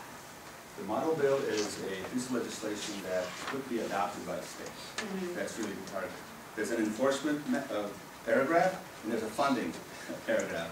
Now, uh, whether it gets funded, of course, you know, that's out of our hands. Okay. But, uh, but we do, we are aware that, you know, enforcement is a huge issue. Okay, thanks. The pet store bans, you've heard about Cook County, uh, is uh, subject to a court challenge. Um, Los Angeles, San Diego, Phoenix, Chicago, and a number of other local governments have adopted um, bans on commercially bred animals in pet stores. Um, You know, we'll see how the legal challenges uh, are gonna come out, you've heard a lot about this already today. Um, I wanna note that one statewide bill that uh, targets pet stores was enacted in Connecticut this year. And while the Illinois bill did not pass, Connecticut uh, did after a task force worked uh, for several months with all stakeholders um, at the table. And it's an interesting approach, and it it may actually end up as a compromise you're going to see in, uh, in more states, that would allow the sale of dogs and cats obtained from USDA uh, licensed breeders as long as they don't have direct violations um, for a two-year period. So my prediction is you're probably gonna see a few more states look at that. Uh, The main criticism, of course, is if the USDA is not really inspecting or enforcing properly, how can you trust the system? You know, but um, it is some assurance that uh, these, uh, you know, the breeders have been inspected. Yes? Again, how would you enforce that?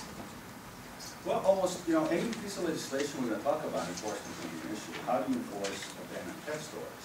How do you know that, the you know, a dog didn't come from a breeder? Um, You know, I think that's probably a little easier. I guess my question is, you would, you would have to have somebody go in to the pet stores in Connecticut and do almost cross-reference where the dog came from. If, I mean, we all know that that's not gonna work. I mean, who's gonna be, who's gonna be responsible for that? And in, in Connecticut, they must have something in mind, because they passed it. And, and the Illinois, um, bill, that actually never went up for a vote. So, Right. that's kind of a moot point. But I just, I'm always interested in how, when somebody submits a bill like that, proposes a bill like that, where the enforcement fits into, because that seems to be the major theme through all of this. And also, how difficult it is to enforce if someone has to look at what's a direct violation versus an indirect violation. And then if it was within the last three years, somebody has to go back within three years.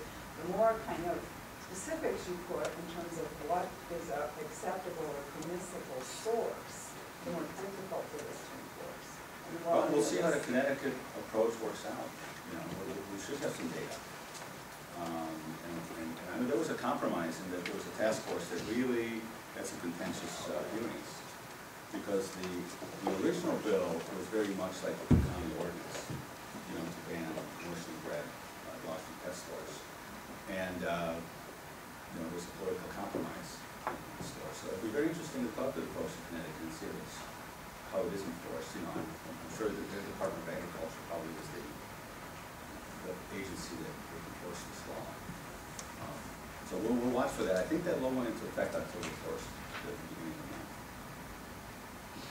Um, I, I also wanted to mention, uh, pet purchase protection laws, also known as lemon laws.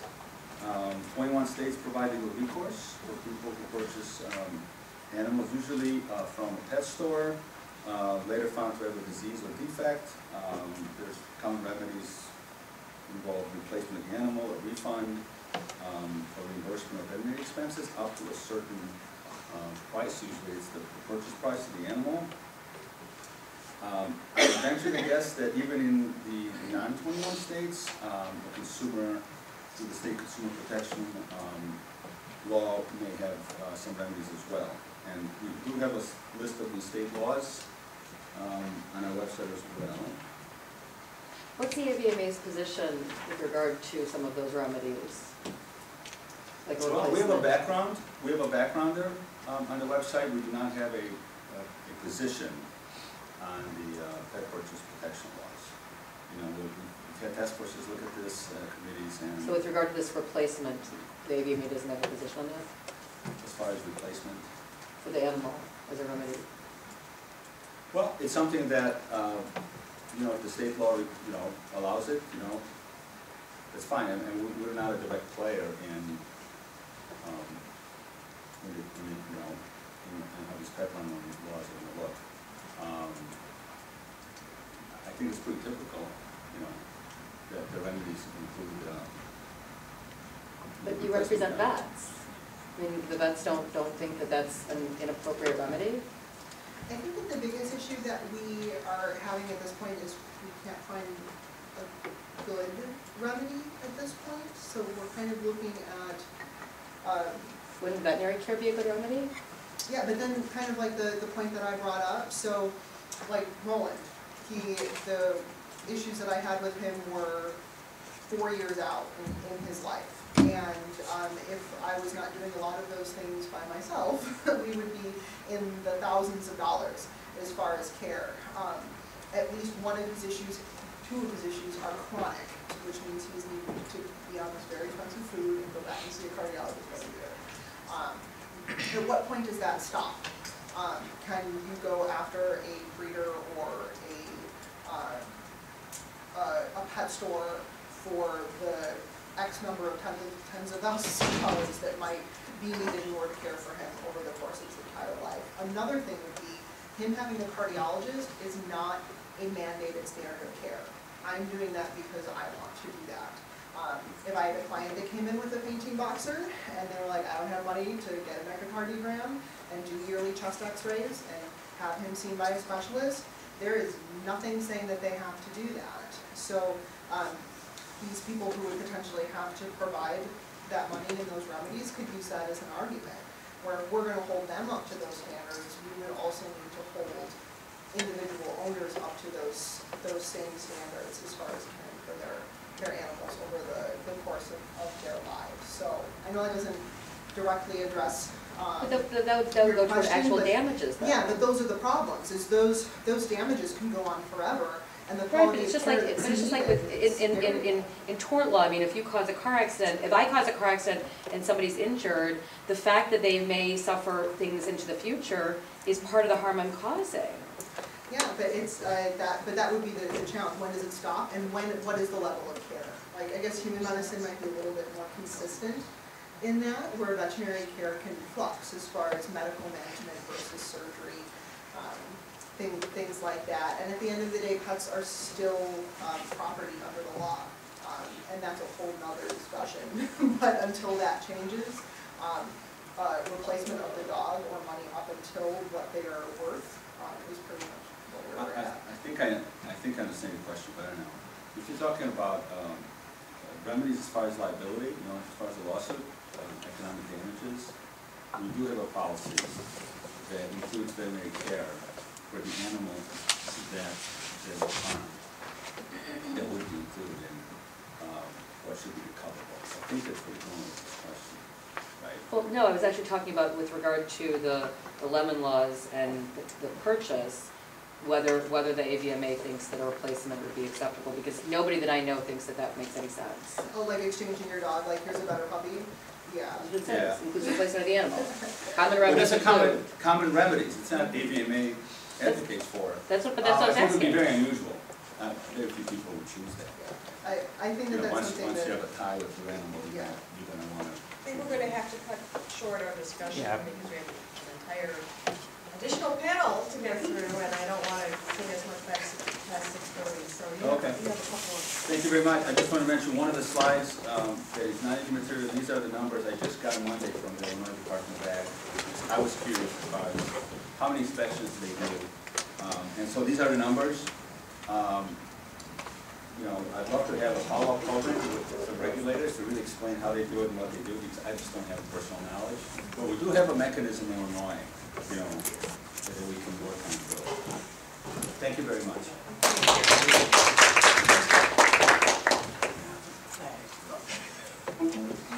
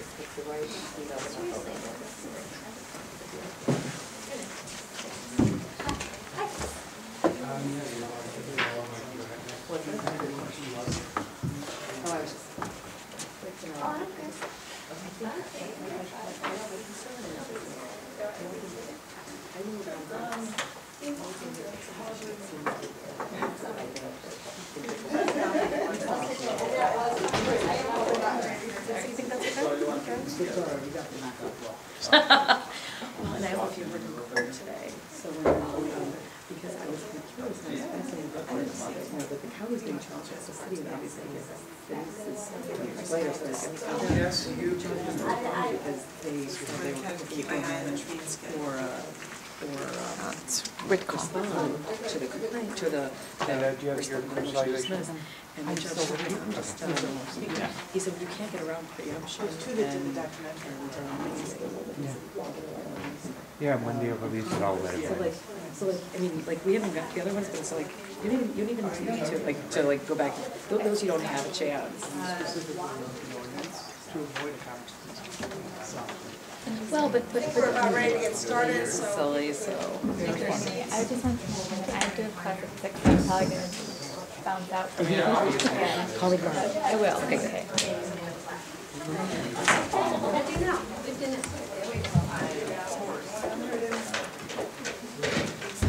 Cherie, how are you? Good to see you.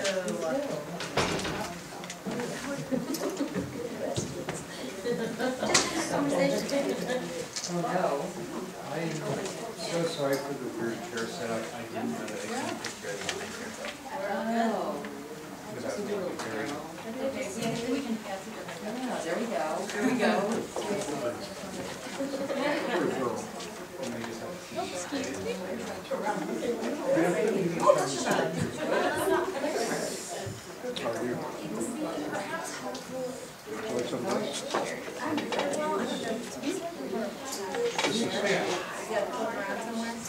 Oh, yeah, I mean, everything is part of the main package.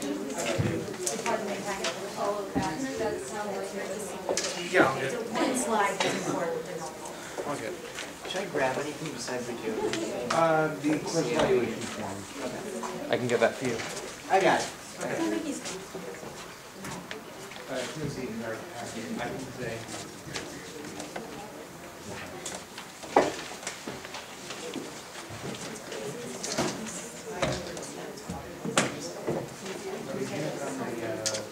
No, you.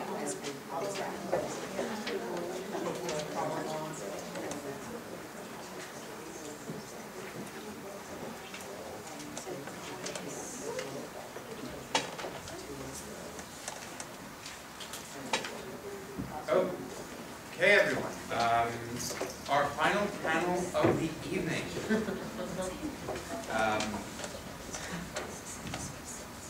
We have, this is going to be looking at uh, primarily the companion animal protection ordinance plus the puppy mill project.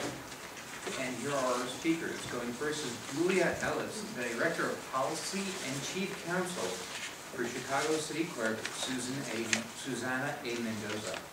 In her present role, Ms. Ellis is, was the lead advisor and the city council liaison for the clerk's initiative to ban the retail sale of puppy mill animals in the city of Chicago. She drafted the companion animal and consumer protection ordinance legislation that earned the support of a broad coalition of local and national animal advocates, um, and which passed in March by an overwhelming forty-nine to one vote. Shortly thereafter, nearly identical legislation was recently adopted by the Cook County Board of Commissioners, a group that includes hundred and thirty-five municipalities. We also have Cherie Travis. She is the Assistant General Counsel for the Cook County Sheriff's Office and previously served as the Executive Director of Chicago Animal Care and Control. She has taught animal law at both DePaul and Northwestern Law Schools and chaired the Chicago Bar Association's Animal Law Committee. And finally, we have Cari Meyers, the founder and president of the Puppy Mill Project. Since starting this group in 2009, she has become a national leader in bringing awareness to the plight of animals in puppy mills.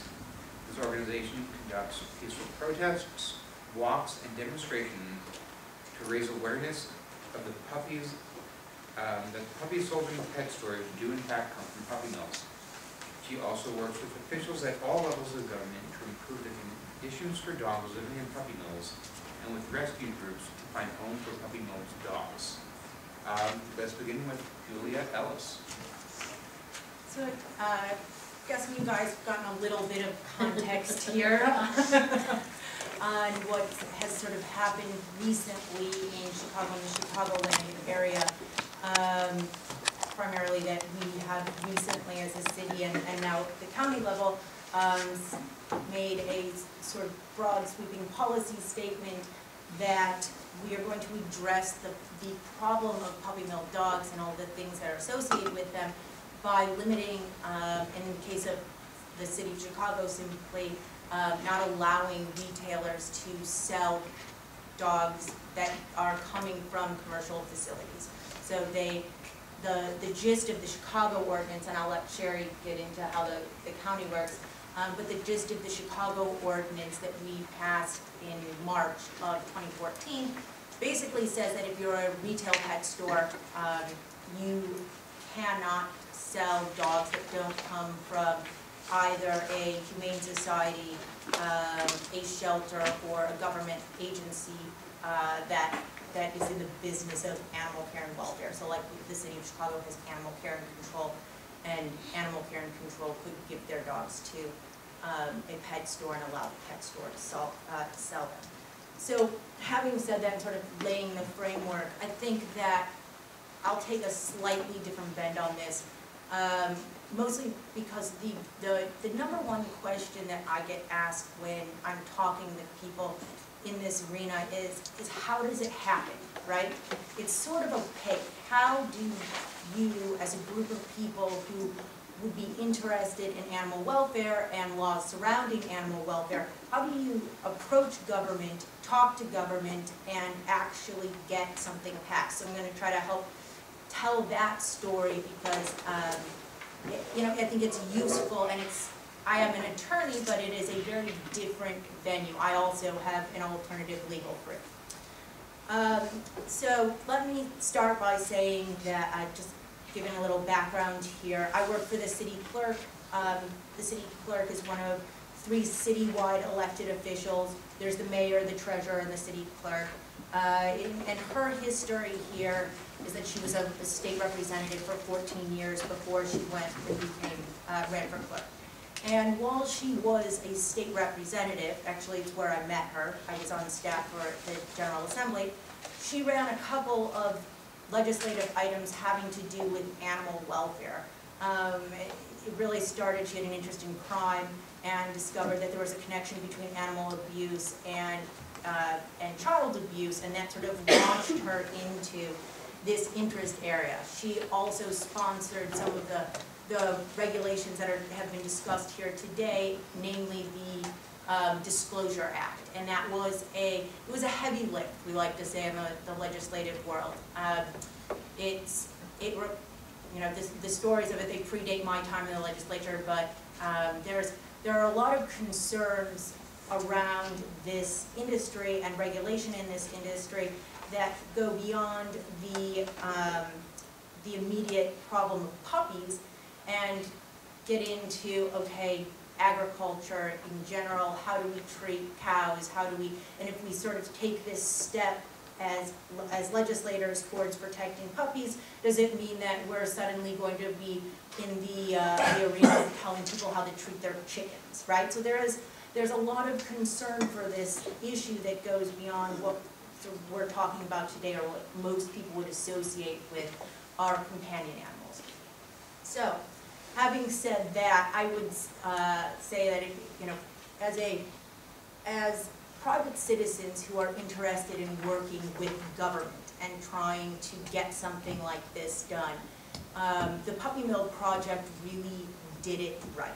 So Cari here is, um, the, the legislative world is, is sort of a blend of, of appealing to the public and sort of making your case in a public sphere and also anticipating what will come next, which is every time you pass a law, someone will sue you at the end of it. It's just the natural course of things. Um, so what the Puppy Mill Project did really well is they, they got together, I don't know if you guys have seen this ordinance, I've got um, an example of it. I'm holding a copy of it right here. So this thing is seven, five pages long. It ended at five pages long. And the first portion of it is really all of the statistics that support why this needed to happen. And so there's all sorts of reasons that um, that the existing problem impacts the city from a consumer's perspective, right? And that is health and welfare. That's something that we as, uh, as a city have a vested interest in protecting our citizens' health and welfare. Um, it talks about the, the the financial impact on the city. So this is legwork that these guys did well in advance of coming and talking to us, but it was very, very important legwork. Um, it talked, they had really done, they'd done their homework in getting to animal care and control and, and sort of synthesizing the data and presenting a really cohesive argument about how much this costs, um, so that, you know, depending on whether or not you wanted to attach yourself to this issue from the, all right, here's the impact on the families that take home a, a dog that has some of these health problems, or you wanna take home, um, uh, you wanna look at it from the city's view of how much are we spending to get animals, bring them into animal care and control, um, to euthanize them in thirty to forty-five percent of cases. And, or, of course, there's always the heartstrings component of just listening to what the animals themselves have in many times uh, gone through before they've gotten to a pet store. So, I, you know, would they, these guys owe- are owed a round of applause for that one, because they did a, a fantastic job. So just to give you some of the statistics that were really compelling to us when we were approached with this issue. Um, twenty thousand animals come into animal care and control every year, and I'll let Cherie probably knows more about this than anyone. Um, six to nine thousand of them are euthanized, and it costs the city about three hundred thousand dollars a year just to euthanize the animals that are there. So that's the raw data, and then you get into the stories of how our existing regulatory structure is just failing. Um, the, as I said, my, my boss, the clerk, had worked to establish disclosure requirements, and what we had discovered, or what we were, we were hearing from the Puppy Mill Project, and candidly, everyone. I've never worked on an issue before that had such widespread public support. I mean, people will pull me out of a line at Jewel and say, thank you. Uh, that never happens, no one ever says thank you to anyone in government, so it's. For sticker, no? Never, it has never happened. Um, but, um, we were finding that it was nearly impossible for the average person to understand where their dog had come from and what the implications of that could be for their family and for their pocketbooks. And so when we, we look at, all right, why did the city of Chicago choose a, a ban, right? Why not more disclosure? Why not um, tap into, try to, to lobby for more funding from the USDA, uh, for the USDA? Why not lobby for more funding for the, the Illinois Department of Ag? And what we just really discovered is that the, the more and more, the, the layers, as you added layers, it just confused the public increasingly, increasingly and actually diluted um, the value of, of doing anything legislatively. So that's where we went to the pit. And of course, one of the things that you're gonna hear in here over and over again is enforcement. When you look at this as a government entity and you consider, all right, I want to regulate this enti, this, this industry, you have to take the next step and say, all right, how much is it gonna cost me to do that? Can I really live up to that? Because nothing really, nothing irritates people as much as passing a law and then not being able to enforce it because, you know, the public expects that their elected officials, that the people that they pay with their tax dollars are, are out there making sure that the, the policy objectives are being met. And if you can't enforce something, it doesn't work. So those were, those were the, um, those were some very compelling reasons for us to take the approach that we did, which was this ban. And so from here, I'll sort of step back and again get you into the, all right, how, as a group of people who are interested in, in um, animal welfare and policy, how do you approach a government? Well, the first thing that you do that's really important is you pick a sponsor. So in this case, um, the advocates had approached different people, and, and some of those people had said, ah, maybe not now, um, but pointed them to us. And this was an issue where we had worked, we'd been in this arena, uh, my boss knew something about it, she cared about it, so that's really gonna be, that's really important, because your sponsor is going to be the person that's out there fighting that battle for you every single day. So the first step is to, is to get this thing drafted, get it introduced to council, um, and then you start your, your work with individual legislators. So, uh, it, the way it works in the city, and every, every legislative entity is different, but something is introduced to council within about two or three weeks, so there's really tight timelines.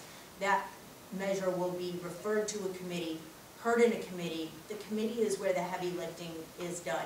Um, and again, you know, every, every entity is different. In the General Assembly, there's a lot of floor debate, and the, then, you know, regardless of whether or not you're in a particular committee with this particular subject matter, all sorts of people will get involved and get, you know, uh, and they'll peel off and have votes. But at the city, it's really at the, the committee level that everything happens, that the substance of this is um, debated. And there were, there are, s- there's an, there's balancing of interests here, right? So naturally, we're concerned about our businesses. In the city of Chicago, we want to make sure that we have a thriving economy. Um, so a lot of the questions when this went to committee were, how will it impact businesses? Is there an alternative model?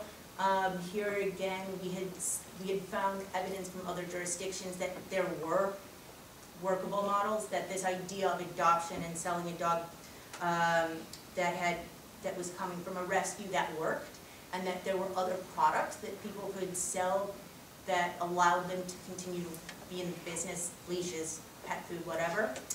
Um, we were able to, uh, through some of the, uh, the economic concerns of the city and the enforcement concerns of the city. Um, we did consider alternative forms of this legislation. We worked through, I'd say, thirty or forty different drafts by the end of it, um, working with our committee chairperson and different li- uh, liaisons from Animal Care and Control, from our office, um, from um, the various humane societies, talking to the American Veterinary Association. All of those, all of that feedback went into thirty or forty drafts, and what we ended up with is that simple is good. We really, so, um, we pushed forward with it, and there is, uh, if you're ever interested, there is a packet of all of the witnesses that we were able to bring in that talked, that testified to, uh, the, the impact on dogs, the impact on consumers, all of these things that we've talked about here, and some very heartfelt stories of families and what this does to them. And that's compelling to legislators. You know, as lawyers, we tend to zero in on facts and, and pure logic, um, but eh, in the world of, in the legislative world, it's a mix of law and, and PR. And, and these are people who are paid to feel. They are paid to represent the human component. So I think that was probably the most compelling portion of it, was talking to people like Cari and having her come in and present, and I'll leave that to her. So, uh, you know, after it was, there were some tense moments, this was a huge piece of legislation. Um, we had seen it happen in some very liberal jurisdictions, and so there were some questions about, all right, would, would Chicago adopt it? Are we ready Uh, for it? Yeah, are we ready for it? And that's a question. That is, that's a question that we ponder all the time. But, um, at the end of the day, we found overwhelming support. It came out of a committee with unanimous vote, went to the floor, passed forty-nine to one. Um, that's about as, as clear of a statement as we can get from the city council. And now, um, you know, and, and, and it was at this point that we looked around and said, all right, what can, you know, what else can we possibly do? And, and that's where we, the county stepped in and passed something that was very similar. So that is, that's sort of the background, that's the history of how it happened. Um, happy to answer any questions. All right, I'm happy to pass it to Cari Meyers. I got nothing. I got nothing. Please. Um, you know what, um, I, because I wasn't here this morning, uh, earlier today, I, I don't know what has been said or what statistics were thrown at you or what you know about the mills after this whole day. Um, I can, I was asked to give you a little bit of background about how we started, and really, the corny story is, I'm an, an animal lover, particularly dogs, all my life. I've always been on, uh, associated with rescues, I was on the board of a no-kill rescue in Chicago. Started reading about puppy mills for what, I have no idea why, and came across, um, uh, a website called Prisoners of Greed and started reading this every night while other people are in bed reading their novels. I'm reading about puppy mills. So I'm having a terrible time reconciling the fact that there is this enormous evil going on and this huge, large-scale cruelty, and it's legal. I can't, I just can't reconcile that whole thing. And I, I thought about it and I thought about it and I realized nobody knew about puppy mills. Nobody was talking about puppy mills. The everybody's rescue, rescue, rescue, rescue, but square one is a puppy mill. And nobody was talking about that. And I remember the day of going to a board meeting that, uh, of, of this rescue that I was on and sitting there and, um, listening to everything and looking around at fifty-something people and thinking not one person in this room that works in rescue, I guarantee you knows about a puppy mill. And I walked out of there and I said, I, I gotta do this. I, I, what- for whatever's propelling me. Uh, that's five years ago. Um, We're, we're. It's a lot of progress in five We're years. five-year-old baby, uh, September tenth. It was, uh, to be exact. What time? Uh, yeah, it was, I don't know, it's not three ten, eleven, it might have been twelve. Um, but that's really the way it started. It started from the heart. I, I, I'm always going from the heart. It's, it's always, um, it's a hard business. It's a happy business when you have a small victory or a large victory. It's incredible. Um, when I started this thing, I had a wish list. I still have a wish list. I'm not gonna tell you everything that's on there, but so far, we're doing pretty good. We keep checking things off. And, um, we have other things to attend to, which I will tell you a little bit about what's on our scope. Um, so, I mean, basically, I had some foolish people that got on board with me and really believed what I was saying and are on my board and um, support me in my, my craziness here, but um, we all made it happen. The love of the city, boy, that was uh, a- an amazing experience for us, working with Julia, working with Susana, was uh, working, working, working. We had thought about this for two years, two years. We were working it alone for six months, we pulled out all the other ordinances that were coming up across the country. Albuquerque, first place that ever did this, 2006. We pulled Albuquerque, and we had to find something that was really going to work for Chicago. And our legal eagles worked crazy on this thing, and then, magic. We, we got to Susana's office, and really they just propelled this thing into action. And I gotta say, one of the happiest days of my life. So, hooray. And of course now, with the county um, ordinance um, kind of on hold at the moment. I have every confidence in the world that's going to work out. It's a great ordinance.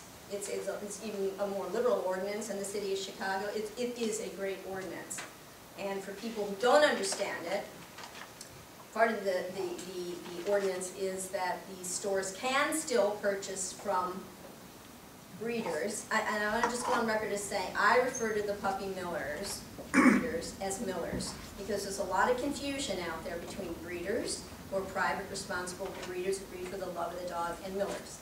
So, that's just my own thing, to stop the confusion in the world when everybody said, what about the breeders? It's not about the breeders, it's about the millers, who mill. Millers mill, and they are milling puppies. Wikipedia. So, um, this ordinance will allow for these stores, if they still want to purchase dogs, to purchase from breeders who have, uh, uh, five or less breeding females.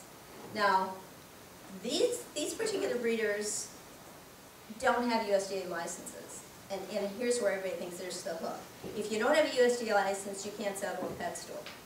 But the USDA will authorize, according to the Animal Welfare Act, licenses for these particular breeders that do want to do business with the stores. So there you have it, they can still buy puppies. It's, it's, it's just to clear that up because there's a lot of confusion out there about that. So it's a great ordinance. I, I mean, I think it's fantastic. We will see what happens with that. And all eyes are on Chicago. Everybody is watching Chicago. This is, this is the big, this is the big prize. We're the kind of the big kahuna right now. There's, um, right now, sixty-seven municipalities across the country that have passed some sort of an ordinance. Winds of change are there. This is a grassroots movement, which is what I wanted when we started. We are not connected to any of the big guys. We've done this, it's sort of David and Goliath, the little guy out there making his way. Um, and it is, it's, it's a grassroots movement that's happening because the legislators, they're reluctant, reluctant to pass laws. The millers are unwilling to stop the cruelty. And the agricultural lobbyists, they're, they're, they're unwilling to stop this abuse. It's just not gonna stop. There's no other way to put it. So you've already heard that the USDA is the overseer of all this, and APHIS is the arm of the USDA that oversees everything. All our companion animals that are now regarded as agriculture. I don't know how that happened, but they are. My feeling, my personal feeling, and I, and I think all of us probably in this room feel that a dog, a cat that sleeps in your bed, that kisses your kids in the mouth, that is one of your family members, is not agriculture. And truly, that the only way that this is ever going to stop, all roads lead to the USDA. It's going to have to be a different division, a companion animal division. And in the day that the USDA it doesn't have control over this, I think that's going to bode well for the animals. They came out in May of 2010 with a scathing report about how they're doing or not doing their job. I don't see much that has changed since then. If you've got at any time two to three thousand, let's say licensed, USDA licensed mills, and you've got, uh, what, the last count was hundred and fifteen or eighty-one, uh, uh, uh, inspectors across the country inspecting, and they don't just inspect puppy mills, they're inspecting everything that the USDA has control over. Do the math. All those guys, they're not being inspected. If they get inspected, how long do you think it's gonna take till that inspector goes back to see if they, if they fixed the barn, if they've done this, if they've done that? It's not, it's not possible. It can't happen. It's not happening. Nobody's minding the store. The only way is, is to either have, you know, ten times the inspectors that we have, which is not happen, or to take control away from the USDA. These are not agricultural animals. When this started, after the war, because the crops were crummy, and the USDA came in and said, grow puppies. Okay, they did, and they're growing, growing, growing, sure. Could you explain a little bit about kind of your ideal vision?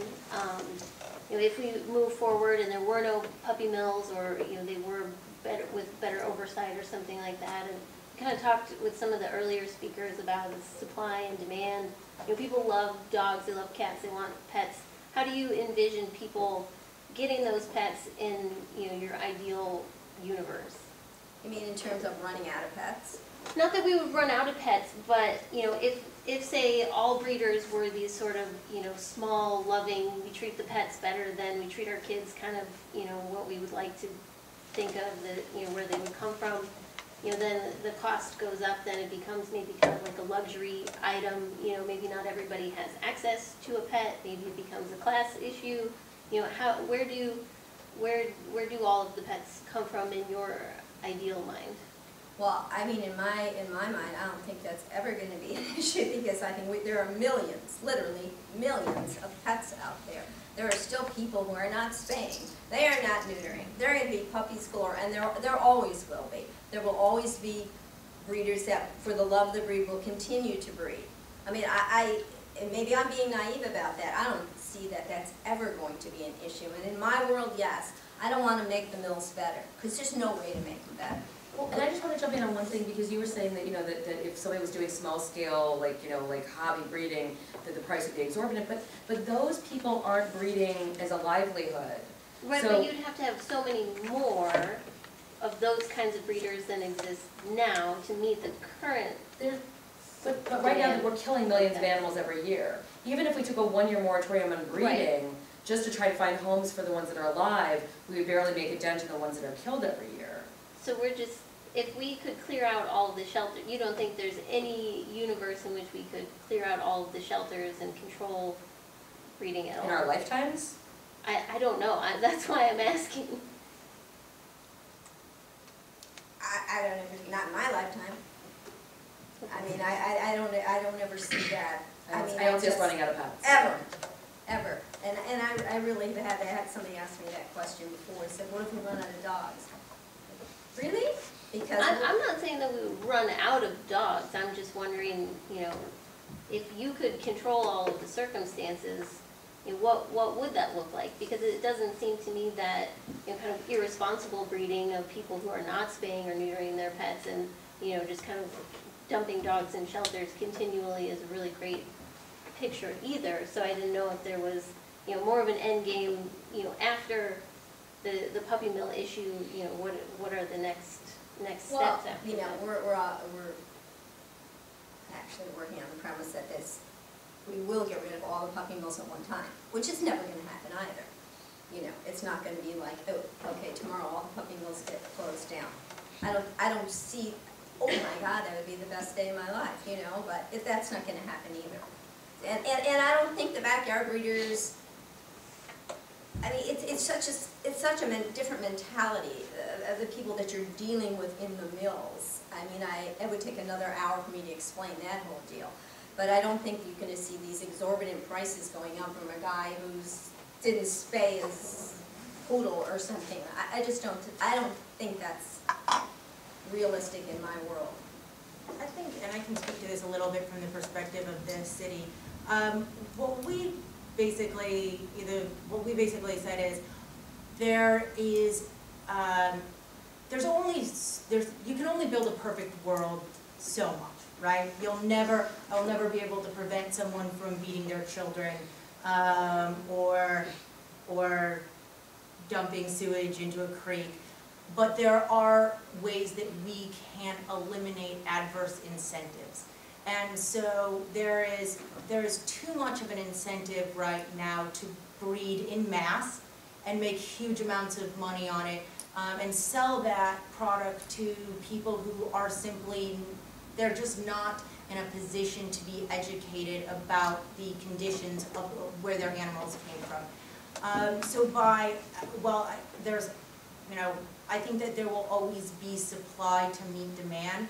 Um, the benefit of taking dogs out of a retail setting, um, that came from breeders, from large-scale breeders, is that you limit impulse buys, right? You don't have, uh, that's the number one thing that we heard from people. I, I walked by this pet store, I saw this dog, I wanted to save it from its cage. It was so sad, I took it home, um, and it ended up dying within five days. I spent the next five years fighting to get my money back. Not because I was even so concerned about the money, but because I was so upset that this had happened to something that quickly became a member of my family. Um, the other thing that we saw was that the dogs that were coming from responsible breeders weren't all that much more expensive and maybe aren't ex- more expensive at all than the No, no. dogs that are coming out of some of these pet stores. We heard uh, testimony about pet stores selling dogs for four thousand dollars. I mean, I just can't, that's a My, my lot of. question is not at all, you know, pushback on, you know, the puppy mills, I, I'm not supporting that at all. I'm just kind of wondering what, what an ideal situation is for companion animals generally.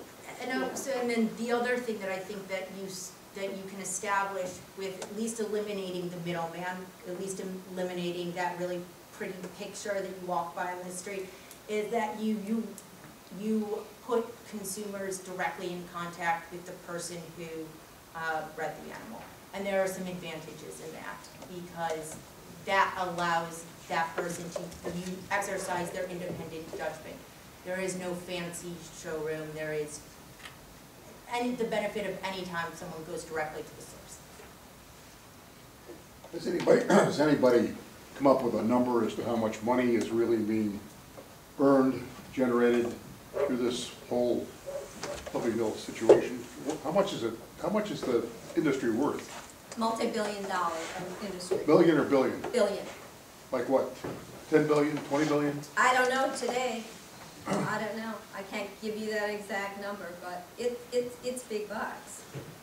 You know, and that, and that's, you know, it's, it's money over morals, of course it is, you know, and it's, and we're fighting a big fight. You have the puppy mill lobbyists, you have the farm bureau sticking their nose in. I mean, we've had the NRA snooping around, because it is the mentality of first they come for your puppies, then they come for your cows, and then they come for your guns.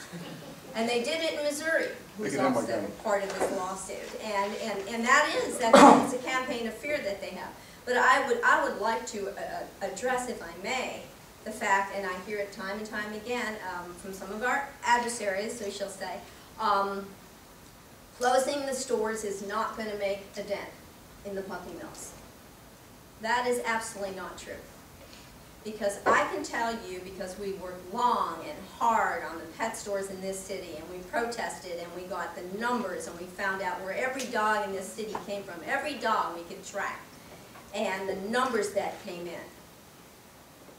From one broker in Iowa, who really supplied ninety percent of the dogs in this city, one broker in Iowa, if we either got the pet stores in Chicago to go humane, or if they chose to go out of business, you are talking about literally thousands upon thousands of dogs coming into this city every year and being sold. And in my mind, that translates to thousands of dogs that maybe could have been adopted that are going to go down at animal care and control. Because what also happens when people buy these dogs in the pet stores and they get sick, they can't afford it because they've just laid down three grand, or they, they have credit for you in the pet stores now. That's really the best.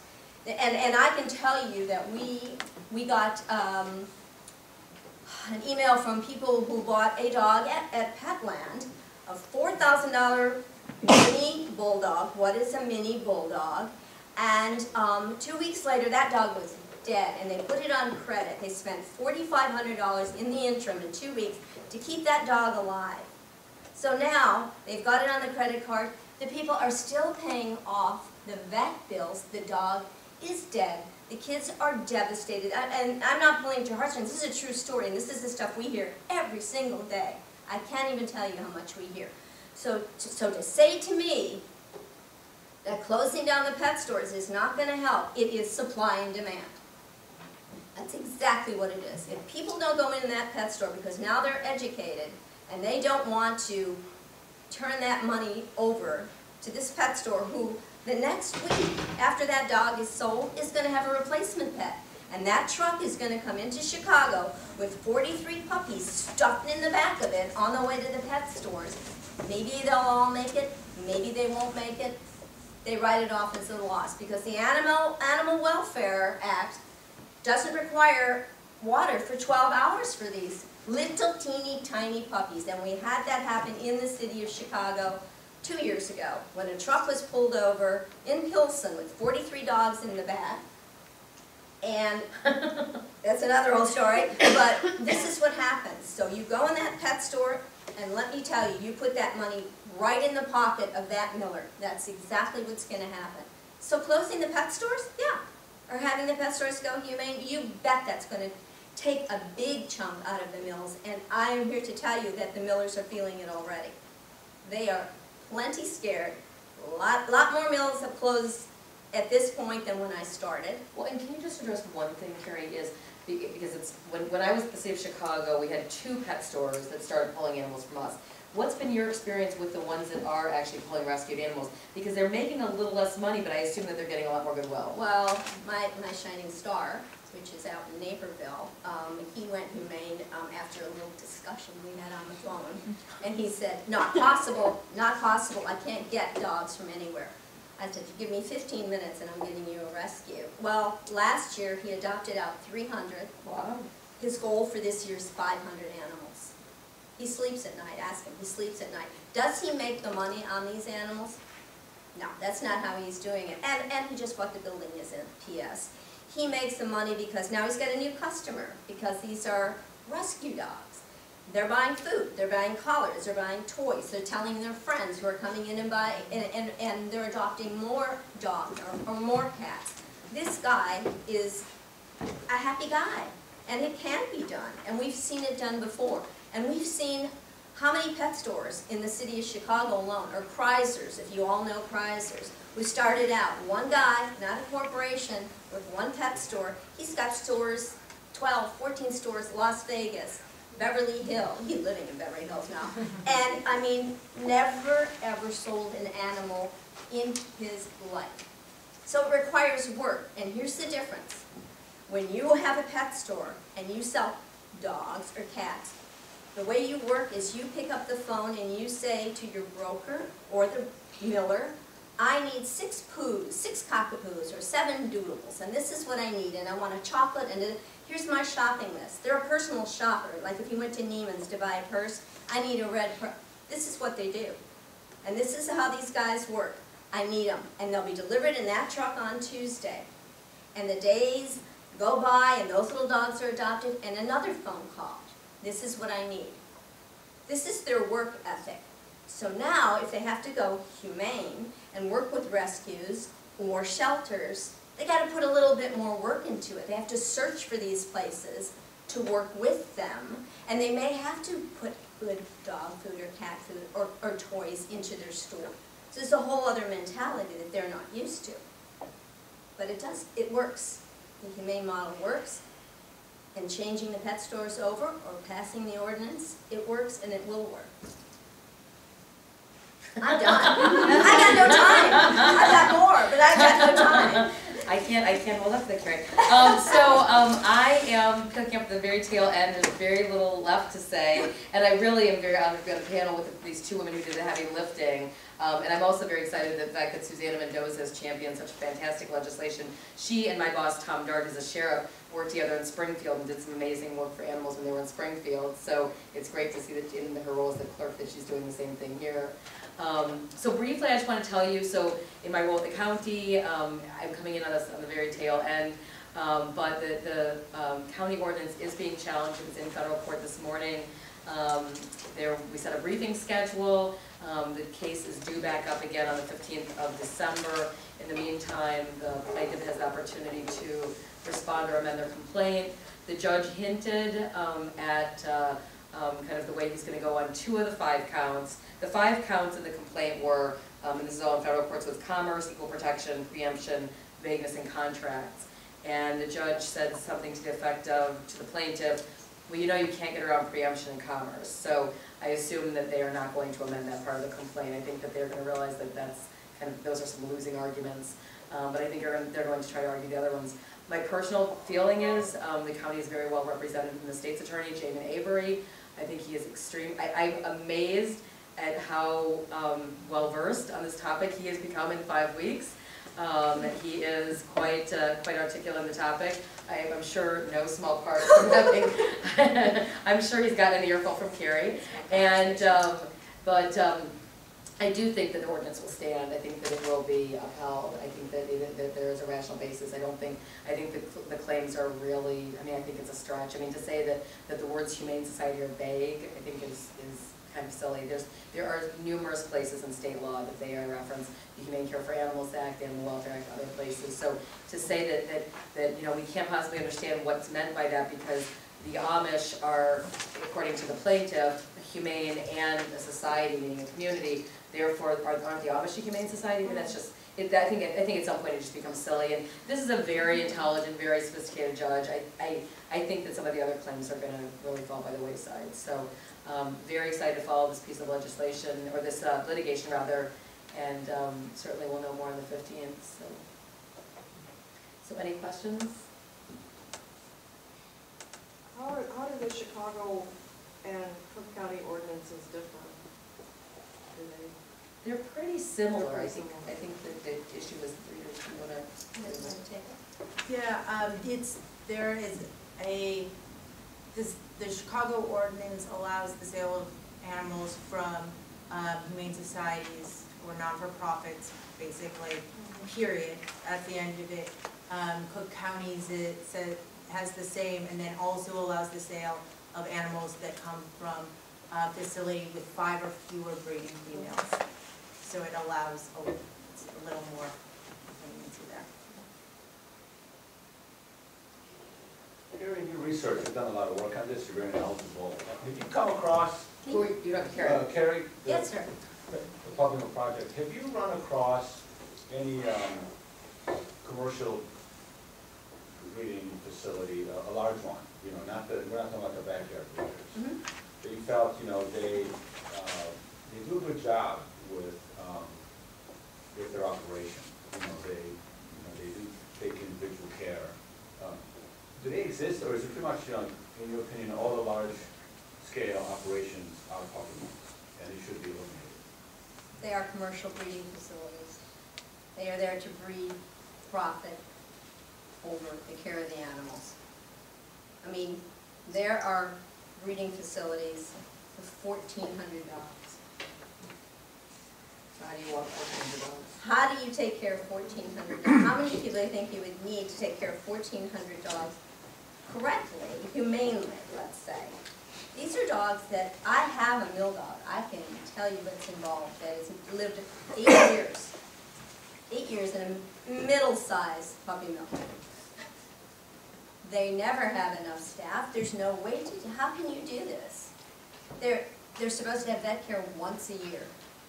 Well, if you have vet care once a year, what happens in that year? It, it doesn't happen. It doesn't happen. There's nothing humane about a commercial breeding facility of these dogs. Have you tried? Because the requirements are so slim to none, and they can't even adhere to those. That is the most amazing thing. Have you tried banning the breeders? Have you what? Have you tried banning large-scale operations? Banning? Federal, yeah, federal level is probably not realistic, but state, state level, some, you know, we have these thirty-eight state laws. None of them ban the breeders. You mean b- ban the mills from coming into our state? Ban their Oh, operation. that's, uh, this, I would love it, yeah. You I mean, never I've never- know. never You never know what's on the But, agenda. but, but, you know, and I, and I think it's great, I think the same kinds of things we've been talking about, I mean, you know, Illinois is an agricultural state, so, you know, I remember talking to Sarah Feigenholz about when she was trying to get a dog doggy daycare bill passed in Springfield, and they, they were laughing at her, like, what, what- what's doggy daycare? So, I mean, I think that the idea in, in Illinois of saying, hey, we're going to eliminate large-scale breeding does come on the heels of, Illinois has a big pork producers. I mean, even the, the former head of the Illinois Department of Ag, Sean Harkey, was the former president of the, of the Illinois pork producers. so- And a lobbyist for the pet store. Right, right. oh yeah, I forgot about that. Woo, he worked on, you know, he worked against the disclosure bill. So, i- in theory, mm, There's also kind of a cost shifting, I think, that's involved here. So the states that breed the animals and benefit financially, economically from breeding the animals aren't necessarily where um, the, they're not where the dogs are going to end up. So the costs are borne by Chicago, by Cook County, by these residents um, that are, that are separate from and distant from where the actual economic benefit is. So if I walked into Missouri and I said, "S- shut down your, your mills, it's really hurting Chicago's consumers, they would laugh me out of the state house. or Um, move to Indiana. No, I mean, and that's what they do. If, if the heat is on in one state, and some, some, some of the laws that have been passed, they just pick up and they go. Pennsylvania cracked down on some things and then back, double backed on something. They moved to upstate New York in the beautiful Finger Lakes re- region where you have a whole Amish community. It's, it's, it's very involved, it's huge, it's like an onion, and every time you peel a layer back, you find something else. It's very political, and above all, it is, it's cruelty, it is large-scale cruelty. So sometimes in my naivety, still, after all this, I still can't believe that anybody could come out against it, about making lives better for these dogs. I, I, I just, I can't believe it, and we get it all the time with this nonsense that comes, people, and now the lemon, well, you have the lemon law. Lemon law is good for how long? And if that dog gets sick after the duration of the lemon law, which is what a mill dog probably will do, you don't see these issues right when they're three weeks old, or you've had them for three weeks, then what? Then what's the recourse? I mean, I, I, we have stories, I, I, I really, like this, and they're still coming in from the pet stores and these people that have bought these dogs, and what it does to these families.